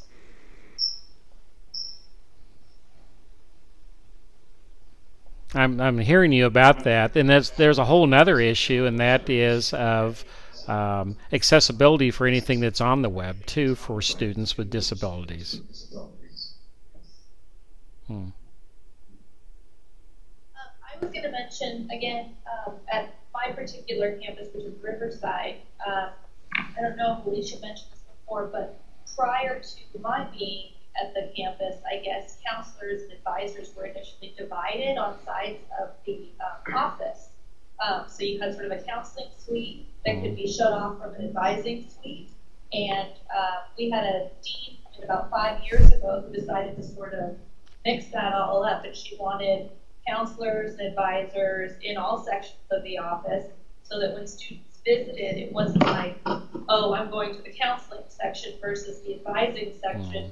So that people feel like there might be a stigma attached to that, or they're clearly seeing a counselor for something, you know, crisis related versus I'm just supposed to be an academic advisor. Um, and then I know for myself, in just my personal space, um, I strive to make my office feel as much like a, a, a room in my home as far as Hmm. lighting is concerned. I brought in like four different lamps. I don't use Mhm. the overhead lighting in the office. It's stark. It makes me feel gross when I sit there with that Mhm. lighting on. So, um, pictures everywhere, pillows. Uh, I just want people to come in and sit down and automatically feel at ease. And I've Mhm. noticed that since I've been bringing those items into my office, I get more and more comments about, uh, oh, this is nice, or oh, this is different from the waiting room, or Hmm. you know, I like your birds on the wall, or whatever. So it kind of just opens up that conversation flow immediately. Excellent. We, I would add with Sonia, we are really striving at our campus, Riverside, to make the environment more welcoming. We've been talking about ideas of how can we make it better in our office area. That, that from the point the student walks through the door, having our, our frontline staff, uh, there's a counter. We've been thinking about things like plants and, and how can we make the lighting better. I know each of us has our personal styles in our private offices, but it's Hmm. wonderful to see that. Uh, you know, the, uh, and I like the lighting to be subdued. I, I sometimes spray uh, nice uh, spray so it's fresh, it's smelling, and, and Hmm. so everything from the sight to the sense, and Hmm. so when the student walks in, they feel comfortable. We Hmm. want that to happen, quite frankly, everywhere on our Mhm. on our in our building, and, and it's a hard task, but it, we're Mhm. trying hard to get that to evolve with our administration. David, I don't know if you realize that we have, uh, of course, you know we have over 45,000 students, but we have eight separate campuses. I don't know if you're aware of that or not. No, I figured that probably there would be branch campuses, but I wasn't aware there'd be eight. My. Yeah. Eight individuals, and then we have a couple other different learning centers in other little cities. And we're in the process of building two brand new campuses as well, sir. Wow. Very exciting. Also, hopefully, you're getting an opportunity with the new buildings to help shape those environments too. Well, it's ironic you would say that, that the newer campuses, uh, they're a lot more conscious of the flow and, and the placement of the Office of uh, Students with Disabilities. Um, it's, was, was pretty ironic on our campus at Round Rock. You really, you, you know, students don't feel ostracized when they go to uh, disability services because they're, they're not in a, a separate location, so they're pretty much incorporated into the flow of the traffic. Hmm.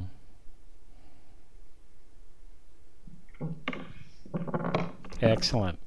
Well, thank you. What I'd like to do now at this point is I want to give you some examples of how I've incorporated uh, learn, uh, universal learning design inside of a classroom. And I realize this won't be as applicable for everyone, but I also want to give you a flavor for what it looks like to do it inside of a class because I think that there may be one or two faculty. I realize most of you are counselors and advisors, but if you'll forbear with me, maybe there's a couple of things that we'll notice here that maybe we can encourage some of our fellow faculty colleagues to consider too. And simply just drawing us back to. Um,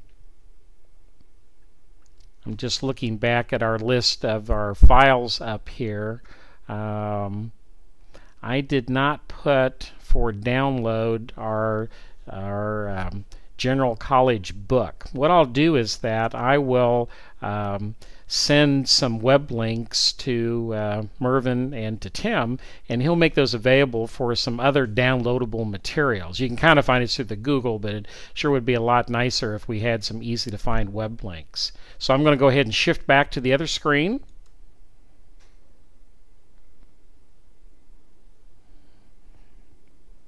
Okay, let me go ahead and give you a few examples of how we've incorporated this into our courses.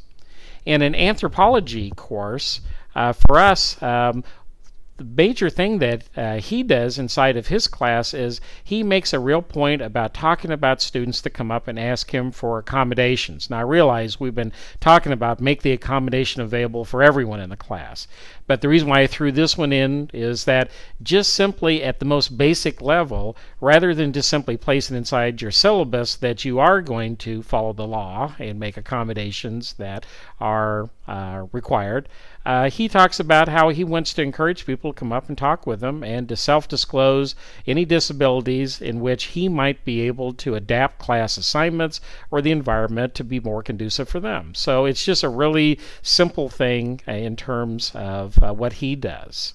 In the general psychology class, they give two different pedagogies on how they can be able to complete a course.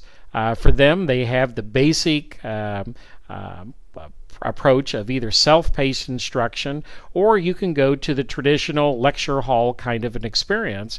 And we have found that a lot of students have made a preference to follow this more personalized and individualized approach. I guess this um, uh, Guy Keller actually was here at the University of Minnesota. They really kind of helped to pioneer part of this back in the 1950s or so. So as you can kind of see, it's kind of a different pedagogy here, and it's a giving students more choice in order to decide do they want the lecture experience or do they want the personalized experience. Same kind of thing is also available for our introductory mathematics courses that are taught within our department. Either you can do kind of the traditional method, which has support with student tutors, or it's a completely computer based model, similar to the psychology class, and then the faculty member and academic tutors are available to support the students uh, in that process in the anatomy course, they took one step further, and this actually was kind of novel about five years ago. It's not as novel today. They did audio uh, podcast recordings of all of the class lectures. And once again, nowadays, lots of classes are doing what you call what screencasting, where you're recording everything that appears on the screen. That's what we're doing actually with today. We're doing it two ways. One is we're doing everything that's on the screen, that's going to turn it into a QuickTime movie, and I'll make that available to uh, Tim and Mervin to share with people. And the other way is that this whole experience here is all going to be placed online, and you'll be receiving a uh, web link that you can be able to consult it or share it with other friends. Well, about five, six years ago, this whole idea about recording was kind of unusual. We originally were doing this because some of our second language learners, particularly our Somali women, were having some difficulty keeping up with the complexity and the speed of the lectures maybe we should have chose to had some different pedagogies going on in the class but uh, whatever it is that's the way that instructor taught. Well so we originally thought well maybe just the students with language issues quote unquote would need it well, now what we found out is that everybody inside the class has it made available to them. In fact, we probably, like you, have probably participated in iTunes U, where it's very accessible for students, and uh, students say that they like to be able to listen to it a second time. Students who are riding the bus, standing at bus stops, uh, working out in the gym get a chance to listen to it again. So that was kind of the major item I wanted to focus on off of this slide. In our introductory writing courses, it's kind of more of a issue about universal learning design. It's probably much more about that second item up there. They intentionally integrate reflection on race, class, and culture inside of class discussions and the assignments because there's a high percentage of students of color, a high percentage of immigrant students, and a high percentage of students who are first generation and probably are economically disadvantaged. So they really tried to make that accentuated in the class that students feel comfortable about using these kinds of issues along with their class assignments for writing or for class discussions then. And student feedback is that they appreciate a safe place that they get to talk about an issue that also they receive academic credit for them. Um, also, and I don't know how that second to the last one works about how they accept various writing styles that are appropriate and effective. That's outside of my area. Um, how they make sense out of that one, but what they were trying to communicate was that they want to make sure that students have an ability to communicate in a style that's appropriate for them and is acceptable. The last item down there is one that many of us have adopted, which is that we have extended time for people to be able to write and to complete assignments. We're not sure of what job you're going to have where you have to complete a 50 item a Scantron sheet of multiple choice questions and do that within 30 minutes. I hope someone's laughing somewhere about that. Um, so, in terms of the writing assignments, they actually allow students to be able to take homework. They don't require them to do it all inside of class. What I do inside of my own history class is that I have two hour class periods, and whenever it comes time for a major exam, I do my very best to scale the exam so that it takes most students just an hour and a half to complete. I don't see why I would want to make students come back for another 30 minutes of lecture after you've just done a major exam for an hour and a half, nor try to lecture to students for 30 minutes and then give them an exam. Either one of those two don't work. So I just simply don't pack as much into my exams. Now, some students actually go ahead and take the full two hours, some of them much less. But part of what I'm trying to do is try to pull part of the anxiety out of the class experience because I want to know what they know rather than trying to push them. Um, can you also send your updated slides? Yes. Um, in fact, let's go and show you where those are at. Let's come back here. We'll be back in a second. Hope this doesn't make you seasick. Um, it's right over here. This item up here, DE overview, Austin Community College. Uh, hand out is what the rest of the word would have said. And that is of every single slide that you're seeing or that we don't see today then. So that's where they all are. If for some reason you actually want the real live PowerPoint slides, then I could provide that for you. I just didn't want to send it because it's really just a big, great big slide, a great big uh, file. But thank you for asking. Um, so let me. Common features of them, well, different modalities of learning, different ways that you assess people, kind of put academic development and support in the middle of the classes, and then you see the other items up here as well. So it's from the U from the University of Minnesota model. When I talk about the Minnesota model, that's really our academic department. If you know anything about general college, that's kind of the old general college approach. Not everyone at the university does, and we also don't claim to be the only place that does this, for heaven's sake. But at least it's kind of a core concept for us. Um, okay, I think this one would be a good spot for us, and then we'll get in and I'll show for a couple minutes about how I make adaptations inside my class. But one of the questions comes up is how can we go and take some really kind of common student development activities and think about them in a different way? What can we do in order to make things more accessible for students? And probably one of the most common of all the things we ever do on any campus is the campus tour. You know, lots of real positive things happen out of that.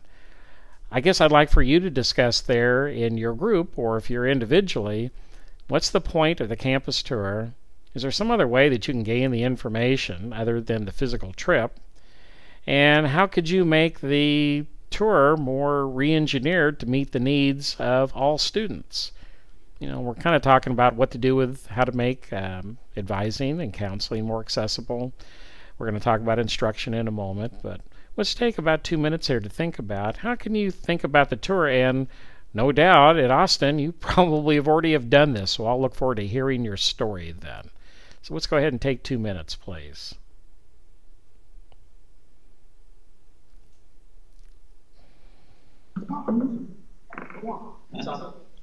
We have something called ACC 101, which is a precursor to their orientation um, 101 is an online, I don't know, maybe like a mini online orientation that covers initial critical basic introductory information for ACC and then also assesses um, what students are coming in with. And we give them basic student service information through that portal as well. And then it's reiterated at the orientation, uh, as well as uh, when they come in for their first services uh, advising session or counseling session, we go over uh, those services with them as well. And generally, I make it a practice to inquire or just make it known that if the student has uh, a learning disability or something they'd like to uh, discuss or mention to a service provider, we do have this office number.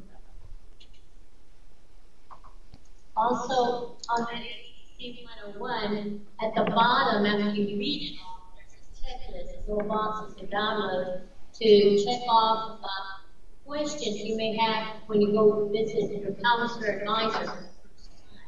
So it's a good little handout for them to read that information and then think about it, bring it in, and we ask them about that. There's another check, uh, box 101, which is a resource, an ACC 101 resource list, which literally lists all of the resources of the college, admissions, financial aid, uh, uh, phone numbers, emails, everything.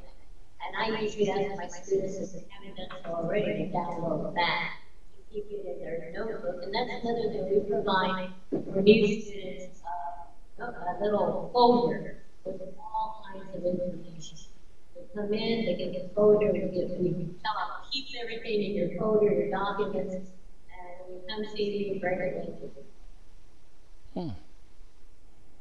Very nice. Well, obviously, there's ways that we can be able to deliver information, and I like the way that you prepare students to get even more out of their first physical appearance on campus. At least that's kind of the way I thought about what I heard you say. You added value to the campus appearance. I really like that. That's very good. I'm going to go ahead. You had something else you wanted to share? I was just going to say that now our, uh, orientation is um, it's mandatory. I mean, you have to go to either a, a physical uh, orientation or an online orientation. You know, so uh, so students students will definitely get the information whether they want to get it or not. Hmm. Oh, I think that's an enormous commitment for a campus of 45,000 to go to that level of commitment to that mandatory activity. Just as when I talked with Tim about how you have a system for mandatory testing and placement, and I'm sure it's not perfect. No one has a perfect system, but that's an enormous commitment to make with a campus of your size. Well, excellent. I'm going to give a little bit of preview about some of the things that I do inside my own classroom. I'd like to be able to show you a website of a campus that is trying to integrate together the academic and the student service programs together in order to be able to meet needs of students. And is this something that you might want to explore to see if there's anything of utility for you? So I'm going to go ahead and turn off your mic just in case that, that causes any feedback problems. And we just share a little bit about my history class. Also, it's a few lessons I also learned from my um, departed colleague, uh, Professor David Ghere, who was the other historian in the department. For us, we really work hard on making our information accessible for students, and that's in terms of making all of our readings also available online for students to be able to access those, and also following through on making them also PDFs accessible, because as I've more recently have learned that just because you place a flat PDF up online doesn't mean it's always accessible for students. We also end up making audio and video files from the class sessions available online and we make written transcripts upon um, validated requests. We don't do so for every student, but if Disability Services Office uh, notifies us, then we do so. But in terms of our class, we um, record all the class sessions just like I'm doing here, and then I post that up within about six hours after the class is over with. We also provide all of the PowerPoint slides ahead of time for the students, both as a um, kind of like, uh, well, not like what you have. It's actually in the more traditional three slides on the left, space to right on the right. But also, students have requested that I go ahead and provide the actual PowerPoint slides themselves because now they have their own PowerPoint installed on their computers, their laptops, and they just go ahead and use the notes field in order to take their notes about the PowerPoint slides. So I think that that is something I didn't anticipate. I also talk more verbally about visual images inside the class because A, it helps those who have sight impairments, but B, it actually causes me to make sure that all of us understand what was particularly significant about the image. And also, I use PowerPoint rather than writing on a screen because I don't know about other people, but you put me much more than about 30 feet away from a um, uh, white marker board and I can't read it. Maybe you guys are better than me. Um, I do have a few vision issues from some laser surgery on my eyes and such, but I wonder how many other students out there can't read anything that the professors are marking on the marker boards. And by the way, I made it my mission in life to see if I could find fat markers at any of the office depots around the world, and I have yet to find them. I think there's a great product out there. I make a point to use more uh, graphic organizers and mind maps and such for students because they express that um, they don't want to just simply be stenographers in class. They'd like to be able to see relationships. I do keep some interactivity act, act, interactivity going on within the class. Um, I also uh, tend to work in classrooms where I work with a microphone. Research has demonstrated that even raising the human voice by 10 decibels, which isn't very much, improves the retention and learning of information inside of a class. Um, I know that uh, most instructors just raise their voice. I'm not real happy with my voice whenever it gets that loud. Um, it strains. It doesn't sound very good. So anyway, so I make a point to be in classrooms where we amplify the sound. And also, I provide online tutorials so my students know how to be able to use all the technology and how to complete assignments in the class. I got classes of 75. So I'm happy to meet with people individually, but I find out that I need to provide more support for them. I don't believe in such thing as the millennial student. Can't say it, much less whether believe in it. Students don't have innate ability to know technology. They're smart, uh, but they need to have some TLC too.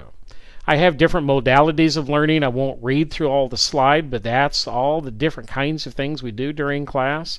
Uh, students report that even if you're a good storyteller, they don't like that. They need interactivity, and you can kind of see. This is one of the questions I ask my students when they come in for those 10 minute interviews.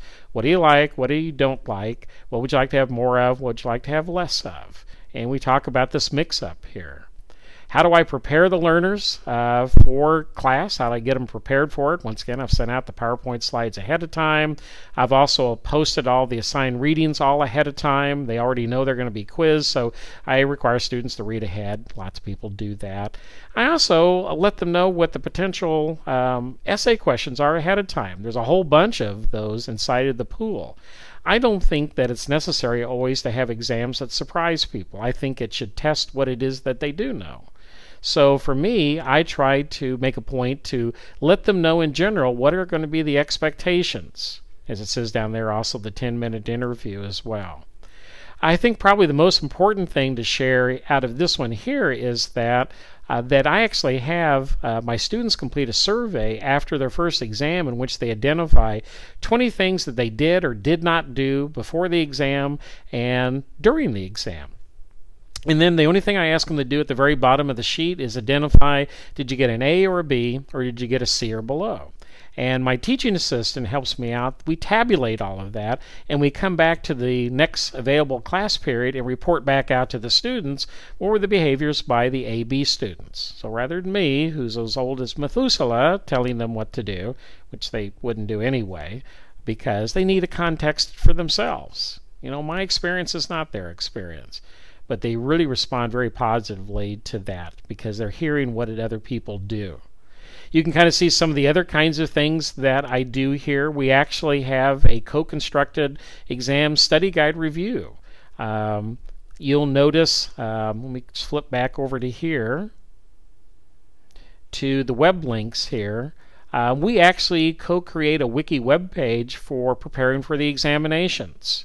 So actually, I have students in the classes, one of their assignments, they're assigned to define glossary words. They are assigned to write up uh, detailed outlines for the potential essay questions, and those all get posted up to a website. Why do I do that? Well, because I know some students, or many students, are forming study groups, but some don't. Either for cultural reasons, geographic isolation. They don't have time because they got to run off to class. They haven't got time to sit around at the coffee shop. So I want to make sure everything is accessible in the class, including group knowledge. Another thing is that we also create a weekly podcast in which I talk about essay questions, students talk about how they're thinking about the unit, and actually I even have a little bit of fun in it where actually some students end up getting some music and they incorporate that in. It's from a legal uh, site that you can get that. And we put that all together, and this is now my 10th uh, semester of doing so. Uh, and we have found that there's been a real positive reaction to that. Students like taking things in via media. They also enjoy the opportunity to see what other students are thinking about the exam questions. I tell them very specifically that um, this is not a perfect answer, this is a answer. It is a sample answer, but it helps students who don't even know how to get started to start thinking about it then. And once again, students also have the opportunity to uh, look at lectures again. And I've been quite surprised the number of students, even in the A and B category, who will re-watch portions of the class lectures. I don't know if that's a comment on me that I'm talking too fast or that I didn't do a very good job the first time. I mean, I've got to always take responsibility that there's another reason. Students tell me they just simply find that it's useful to hear it a second time. Um, once again, if you're interested in this uh, podcast, then you just simply need to go to this website up here, thenandnow.org. Oh, well, I guess it would help if I used a pointer. Sorry about that. There we go. I think it just now appeared. Um, so if you end up going to that site here, and this is, this should be inside of your uh, handout, um, then you can actually click on a link and listen to previous episodes. Or if you want to subscribe to this free podcast, it'll automatically be downloaded to your iTunes account and you'll find it underneath the podcasting tab. And if all that sounds like a whole bunch of gobbledygook, then you just simply need to ask somebody who's younger than you are and they'll give you a free tutorial. You know, I oftentimes tell um, and share with instructors that you can either read all the manuals, you can call me on the telephone, or you can look twice as cool to your grandkids and ask them. They will think it is so cool that you ask for help. And I ask my students for help all the time. In fact, the way I learned all this stuff is that I asked my freshmen to help me. And we would get together on Saturday mornings and we would train one another how to be able to do these things. And life goes a lot quicker whenever we ask for help. And once again, if you want to see this, um, actually, I create this through Google websites. And if you go to myworldhistory.org, you'll see the uh, website that the students create on their own in order to help review. So I do keep an eye on it. If there is inaccurate information, I actually do change it. Uh, but for the most part, I don't have to do very much with it. Students take this uh, assignment really serious, and they do really a good job. So what's inside of it? I talk about essay questions. Um, the um, one of the students in the class gives an overview, uh, and one of the students in the class actually will program some music in, and then upon need, uh, we provide transcripts. We have yet to do so yet, but that is available. Actually, I use um, uh, Dragon Speak as my uh, G R A G O N Speak as my um, uh, voice to text translator. And actually, they've got a function now to where it's just drag and drop. And it'll actually translate probably 75 to 85% correctly. And then you just have to go in and clean up the other 10%. I'm going to skip by this slide because of time reasons. We actually can get podcasts from other people that I'm able to share with students. You do need to go ask permission from them. Uh, but there's other content that's out there on the net that can be brought in. Um, anything from history podcasts, I incorporate some of those into my class, as well as using Khan Academy, which is probably one of the most widely used of all the resources on YouTube. As I said up here, we co construct our exam study guide together. Uh, they do the unit summary, they do the glossary of the keywords and then also they uh, do detailed outlines of the potential essay questions. Um, another element, I think, of universal learning design is that, well, there's different ways to show that you learned something. So on my exams, they are a combination of matching vocabulary, multiple choice questions, and writing essays. It's what goes on inside the class. Low stakes papers. That's the Histropedia paper. Just think of them as little small papers of one to three pages. Actually, there's another interesting one. There's a free software package online. It's called Animoto.com, and it actually allows you to be able to make music videos. And that's another activity that some students really enjoy inside the class is that it's another way for them to express their competency that they're learning something and an ability for them to be able to share. And as I said, extended time is provided for everybody inside the class. So, what happens if you have an officially documented student with extended time? Well, then they get more time. So, my class is two hours long, and usually the uh, Disability Services Office will ask for time and a half. I think I've had a request one time, um, or directive, however you look at it, for two hours for 200% time. Um, usually, whenever that occurs, we generally send them over to take the exam in the uh, DSO's office rather than with me, but oftentimes I end up doing that myself. Um, once again, that's inside of the notes. My recommendation is to go and, and just simply experiment and take a look at it. What are the outcomes out of all this stuff? Well, you know, I think that students um, tend to be more successful. I think the institution benefits because we don't have to have as many individualized accommodations because we just simply provide it for everyone. And more people find success out of that. So we think that that's really kind of what the key is for us.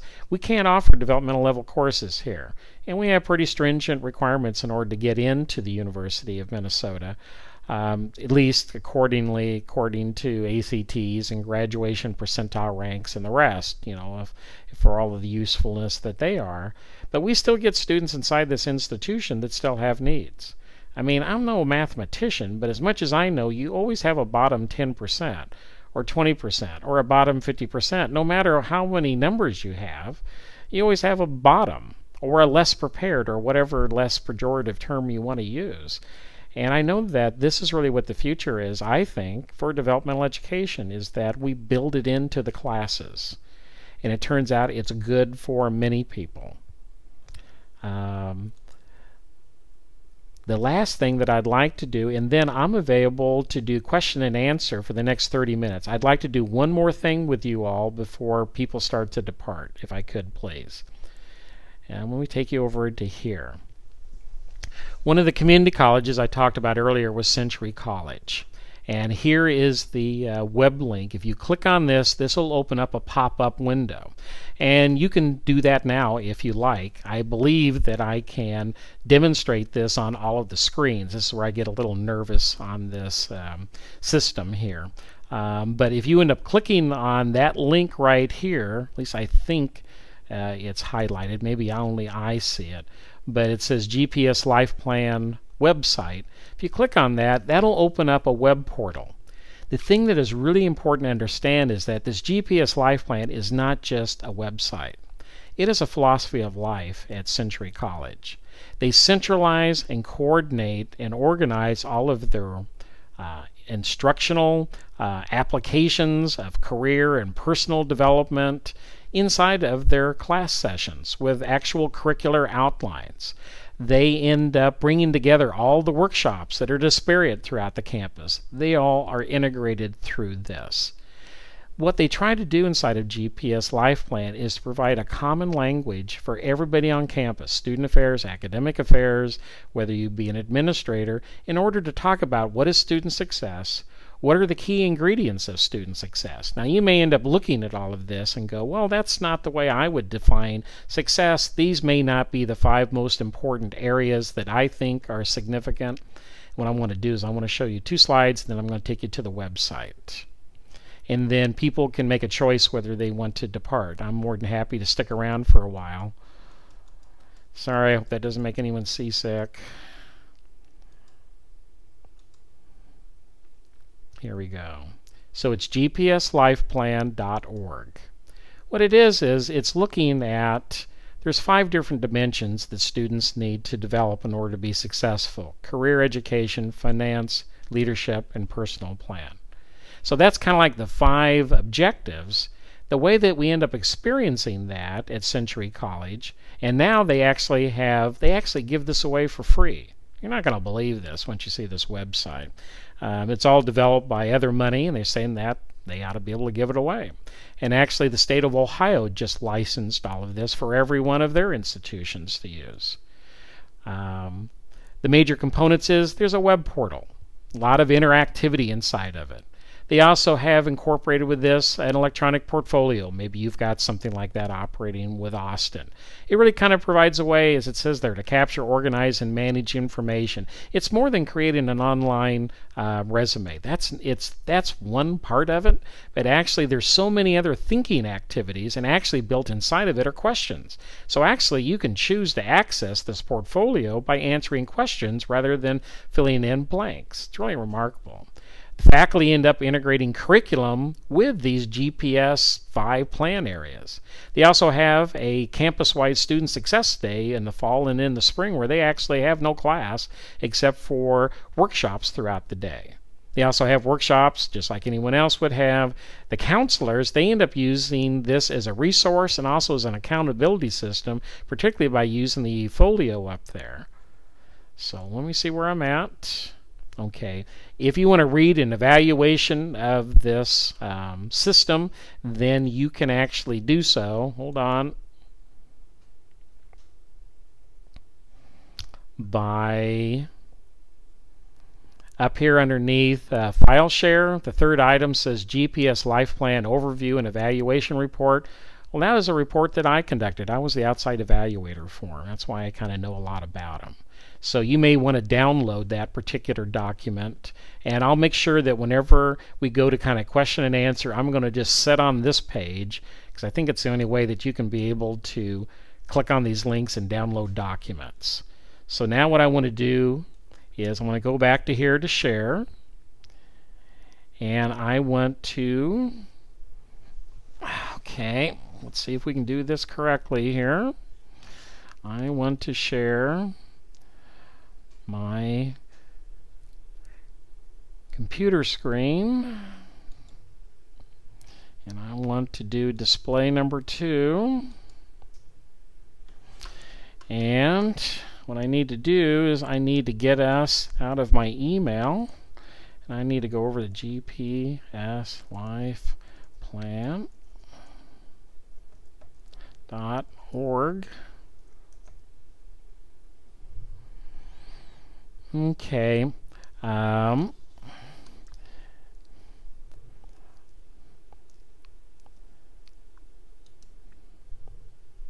okay. Ah, I am so sorry. Um,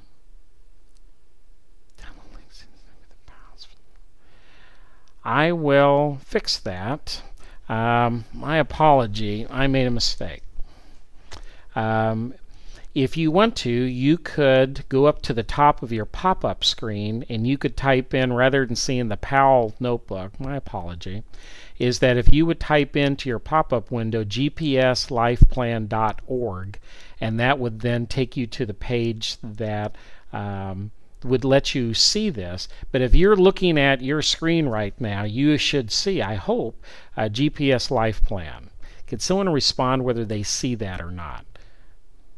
My apology to you, Sarah. Okay, it worked for us. But once again, apologies to you, Sarah. I just simply wanted to just simply just kind of get you to kind of take a look at this. And for goodness sakes, um, there's better people than I to help demonstrate all of this. But what you notice is that um, here's the five different topic areas. You can click on those and actually go to those um, um, portions to explore. What I want to do is I want to draw your attention down here at the bottom where it says students, faculty or staff, or guest. And I'm going to click on the faculty or staff. Oh, good. And this is a resource for faculty and staff to go to to figure out, well, what am I going to do with this thing?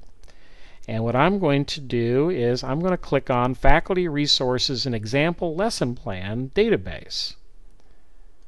I'm going to click there. And here, I'm trying to remember how many did they have? Oh, they've got tons of stuff down here.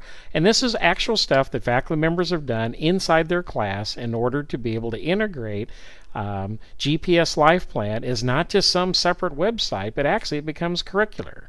So let's do reduce test anxiety lesson plan. I have not a clue what we're going to see. What do we got? Okay, we're using the education plan. It explains what the assignment is. Um, this might be a study skills class. This very well also could have been a history class. Um, and it tells you who submitted it, and then you end up seeing here's the samples right down here. Um, I'm not going to click on those because I don't want to mess something up because we're too close to the finish line for me to blow this up. But what you see here is that here's the actual content. And my recommendation would be this is the place to explore. And I've got to believe we also have examples on how to use this in student development programs. I'm sorry I'm a little prejudiced. I only have been exploring the faculty side of it, so my apology. I should have done better about that. But part of what I'm trying to do at this point is kind of get you excited about the idea of using this as a model to take a look at. The thing I find remarkable, and once again, you may already have your version of GPS Life Plan.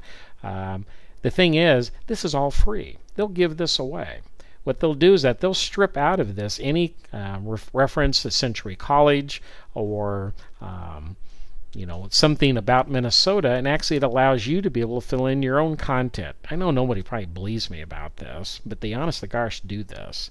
And if you're more interested about that, then contact me, and then I can have you um, hook up with the people um, uh, that um, are in charge of this, and they really love to share it. Like I said, the whole state of Ohio adopted this. Uh, probably 25 colleges within Minnesota have adopted this. They now have created a high school version of this. They're getting ready to make a one just for military personnel who are abroad taking classes take this. And honest to gosh, they're actually making a version of this for prisoners. Isn't that interesting? I'm not quite sure what's going to be in the plan, and I'm, for God's sake, I'm not making fun either. Uh, my ex girlfriend, she says her most significant experience on a weekly basis is working with prisoners who nobody ever talks to and tries to help them deal with anger and to take the next step. And maybe that's what they're thinking about doing for GPS Life Plan for prisoners is maybe we need to have a plan whenever we get out. I really am quite touched by it all myself. Um, so, um, what I'm going to do at this point is I'm going to take us back to the discussion chat page, and um, I'm just going to make this open time now. Uh, thanks for your nice compliment. I'll pass that along. Um, this thing has moved a long way in the past five years. So um, here are your links up here. Um, I can't fix that one right now because I think one of you said that one of the links is messed up. I can't do that in the middle of the presentation or else I might blow the stuff up. But what I'd like to do is let's go ahead and kind of stop here. If people have questions, um, please go ahead and uh, ask them here in the chat room. Um, and I just want to say, um, once again, I'm here for as long as we need to be, but I just want to thank all of you for participating in the workshop today. Thank you for being forbearing with me on some of the slip ups here and such. And uh, it's always a privilege, so I hope I get a chance to be on your campus sometime. So I think I'll just stop at this point. And then as people have questions, uh, please do so. You might want to go over there to the file share and download the documents, take a look, and decide whether you want to keep them or delete them. But um, I'd recommend that you uh, take a look at those and see if there's some utility. So I'll stop and I'll respond to questions at this point.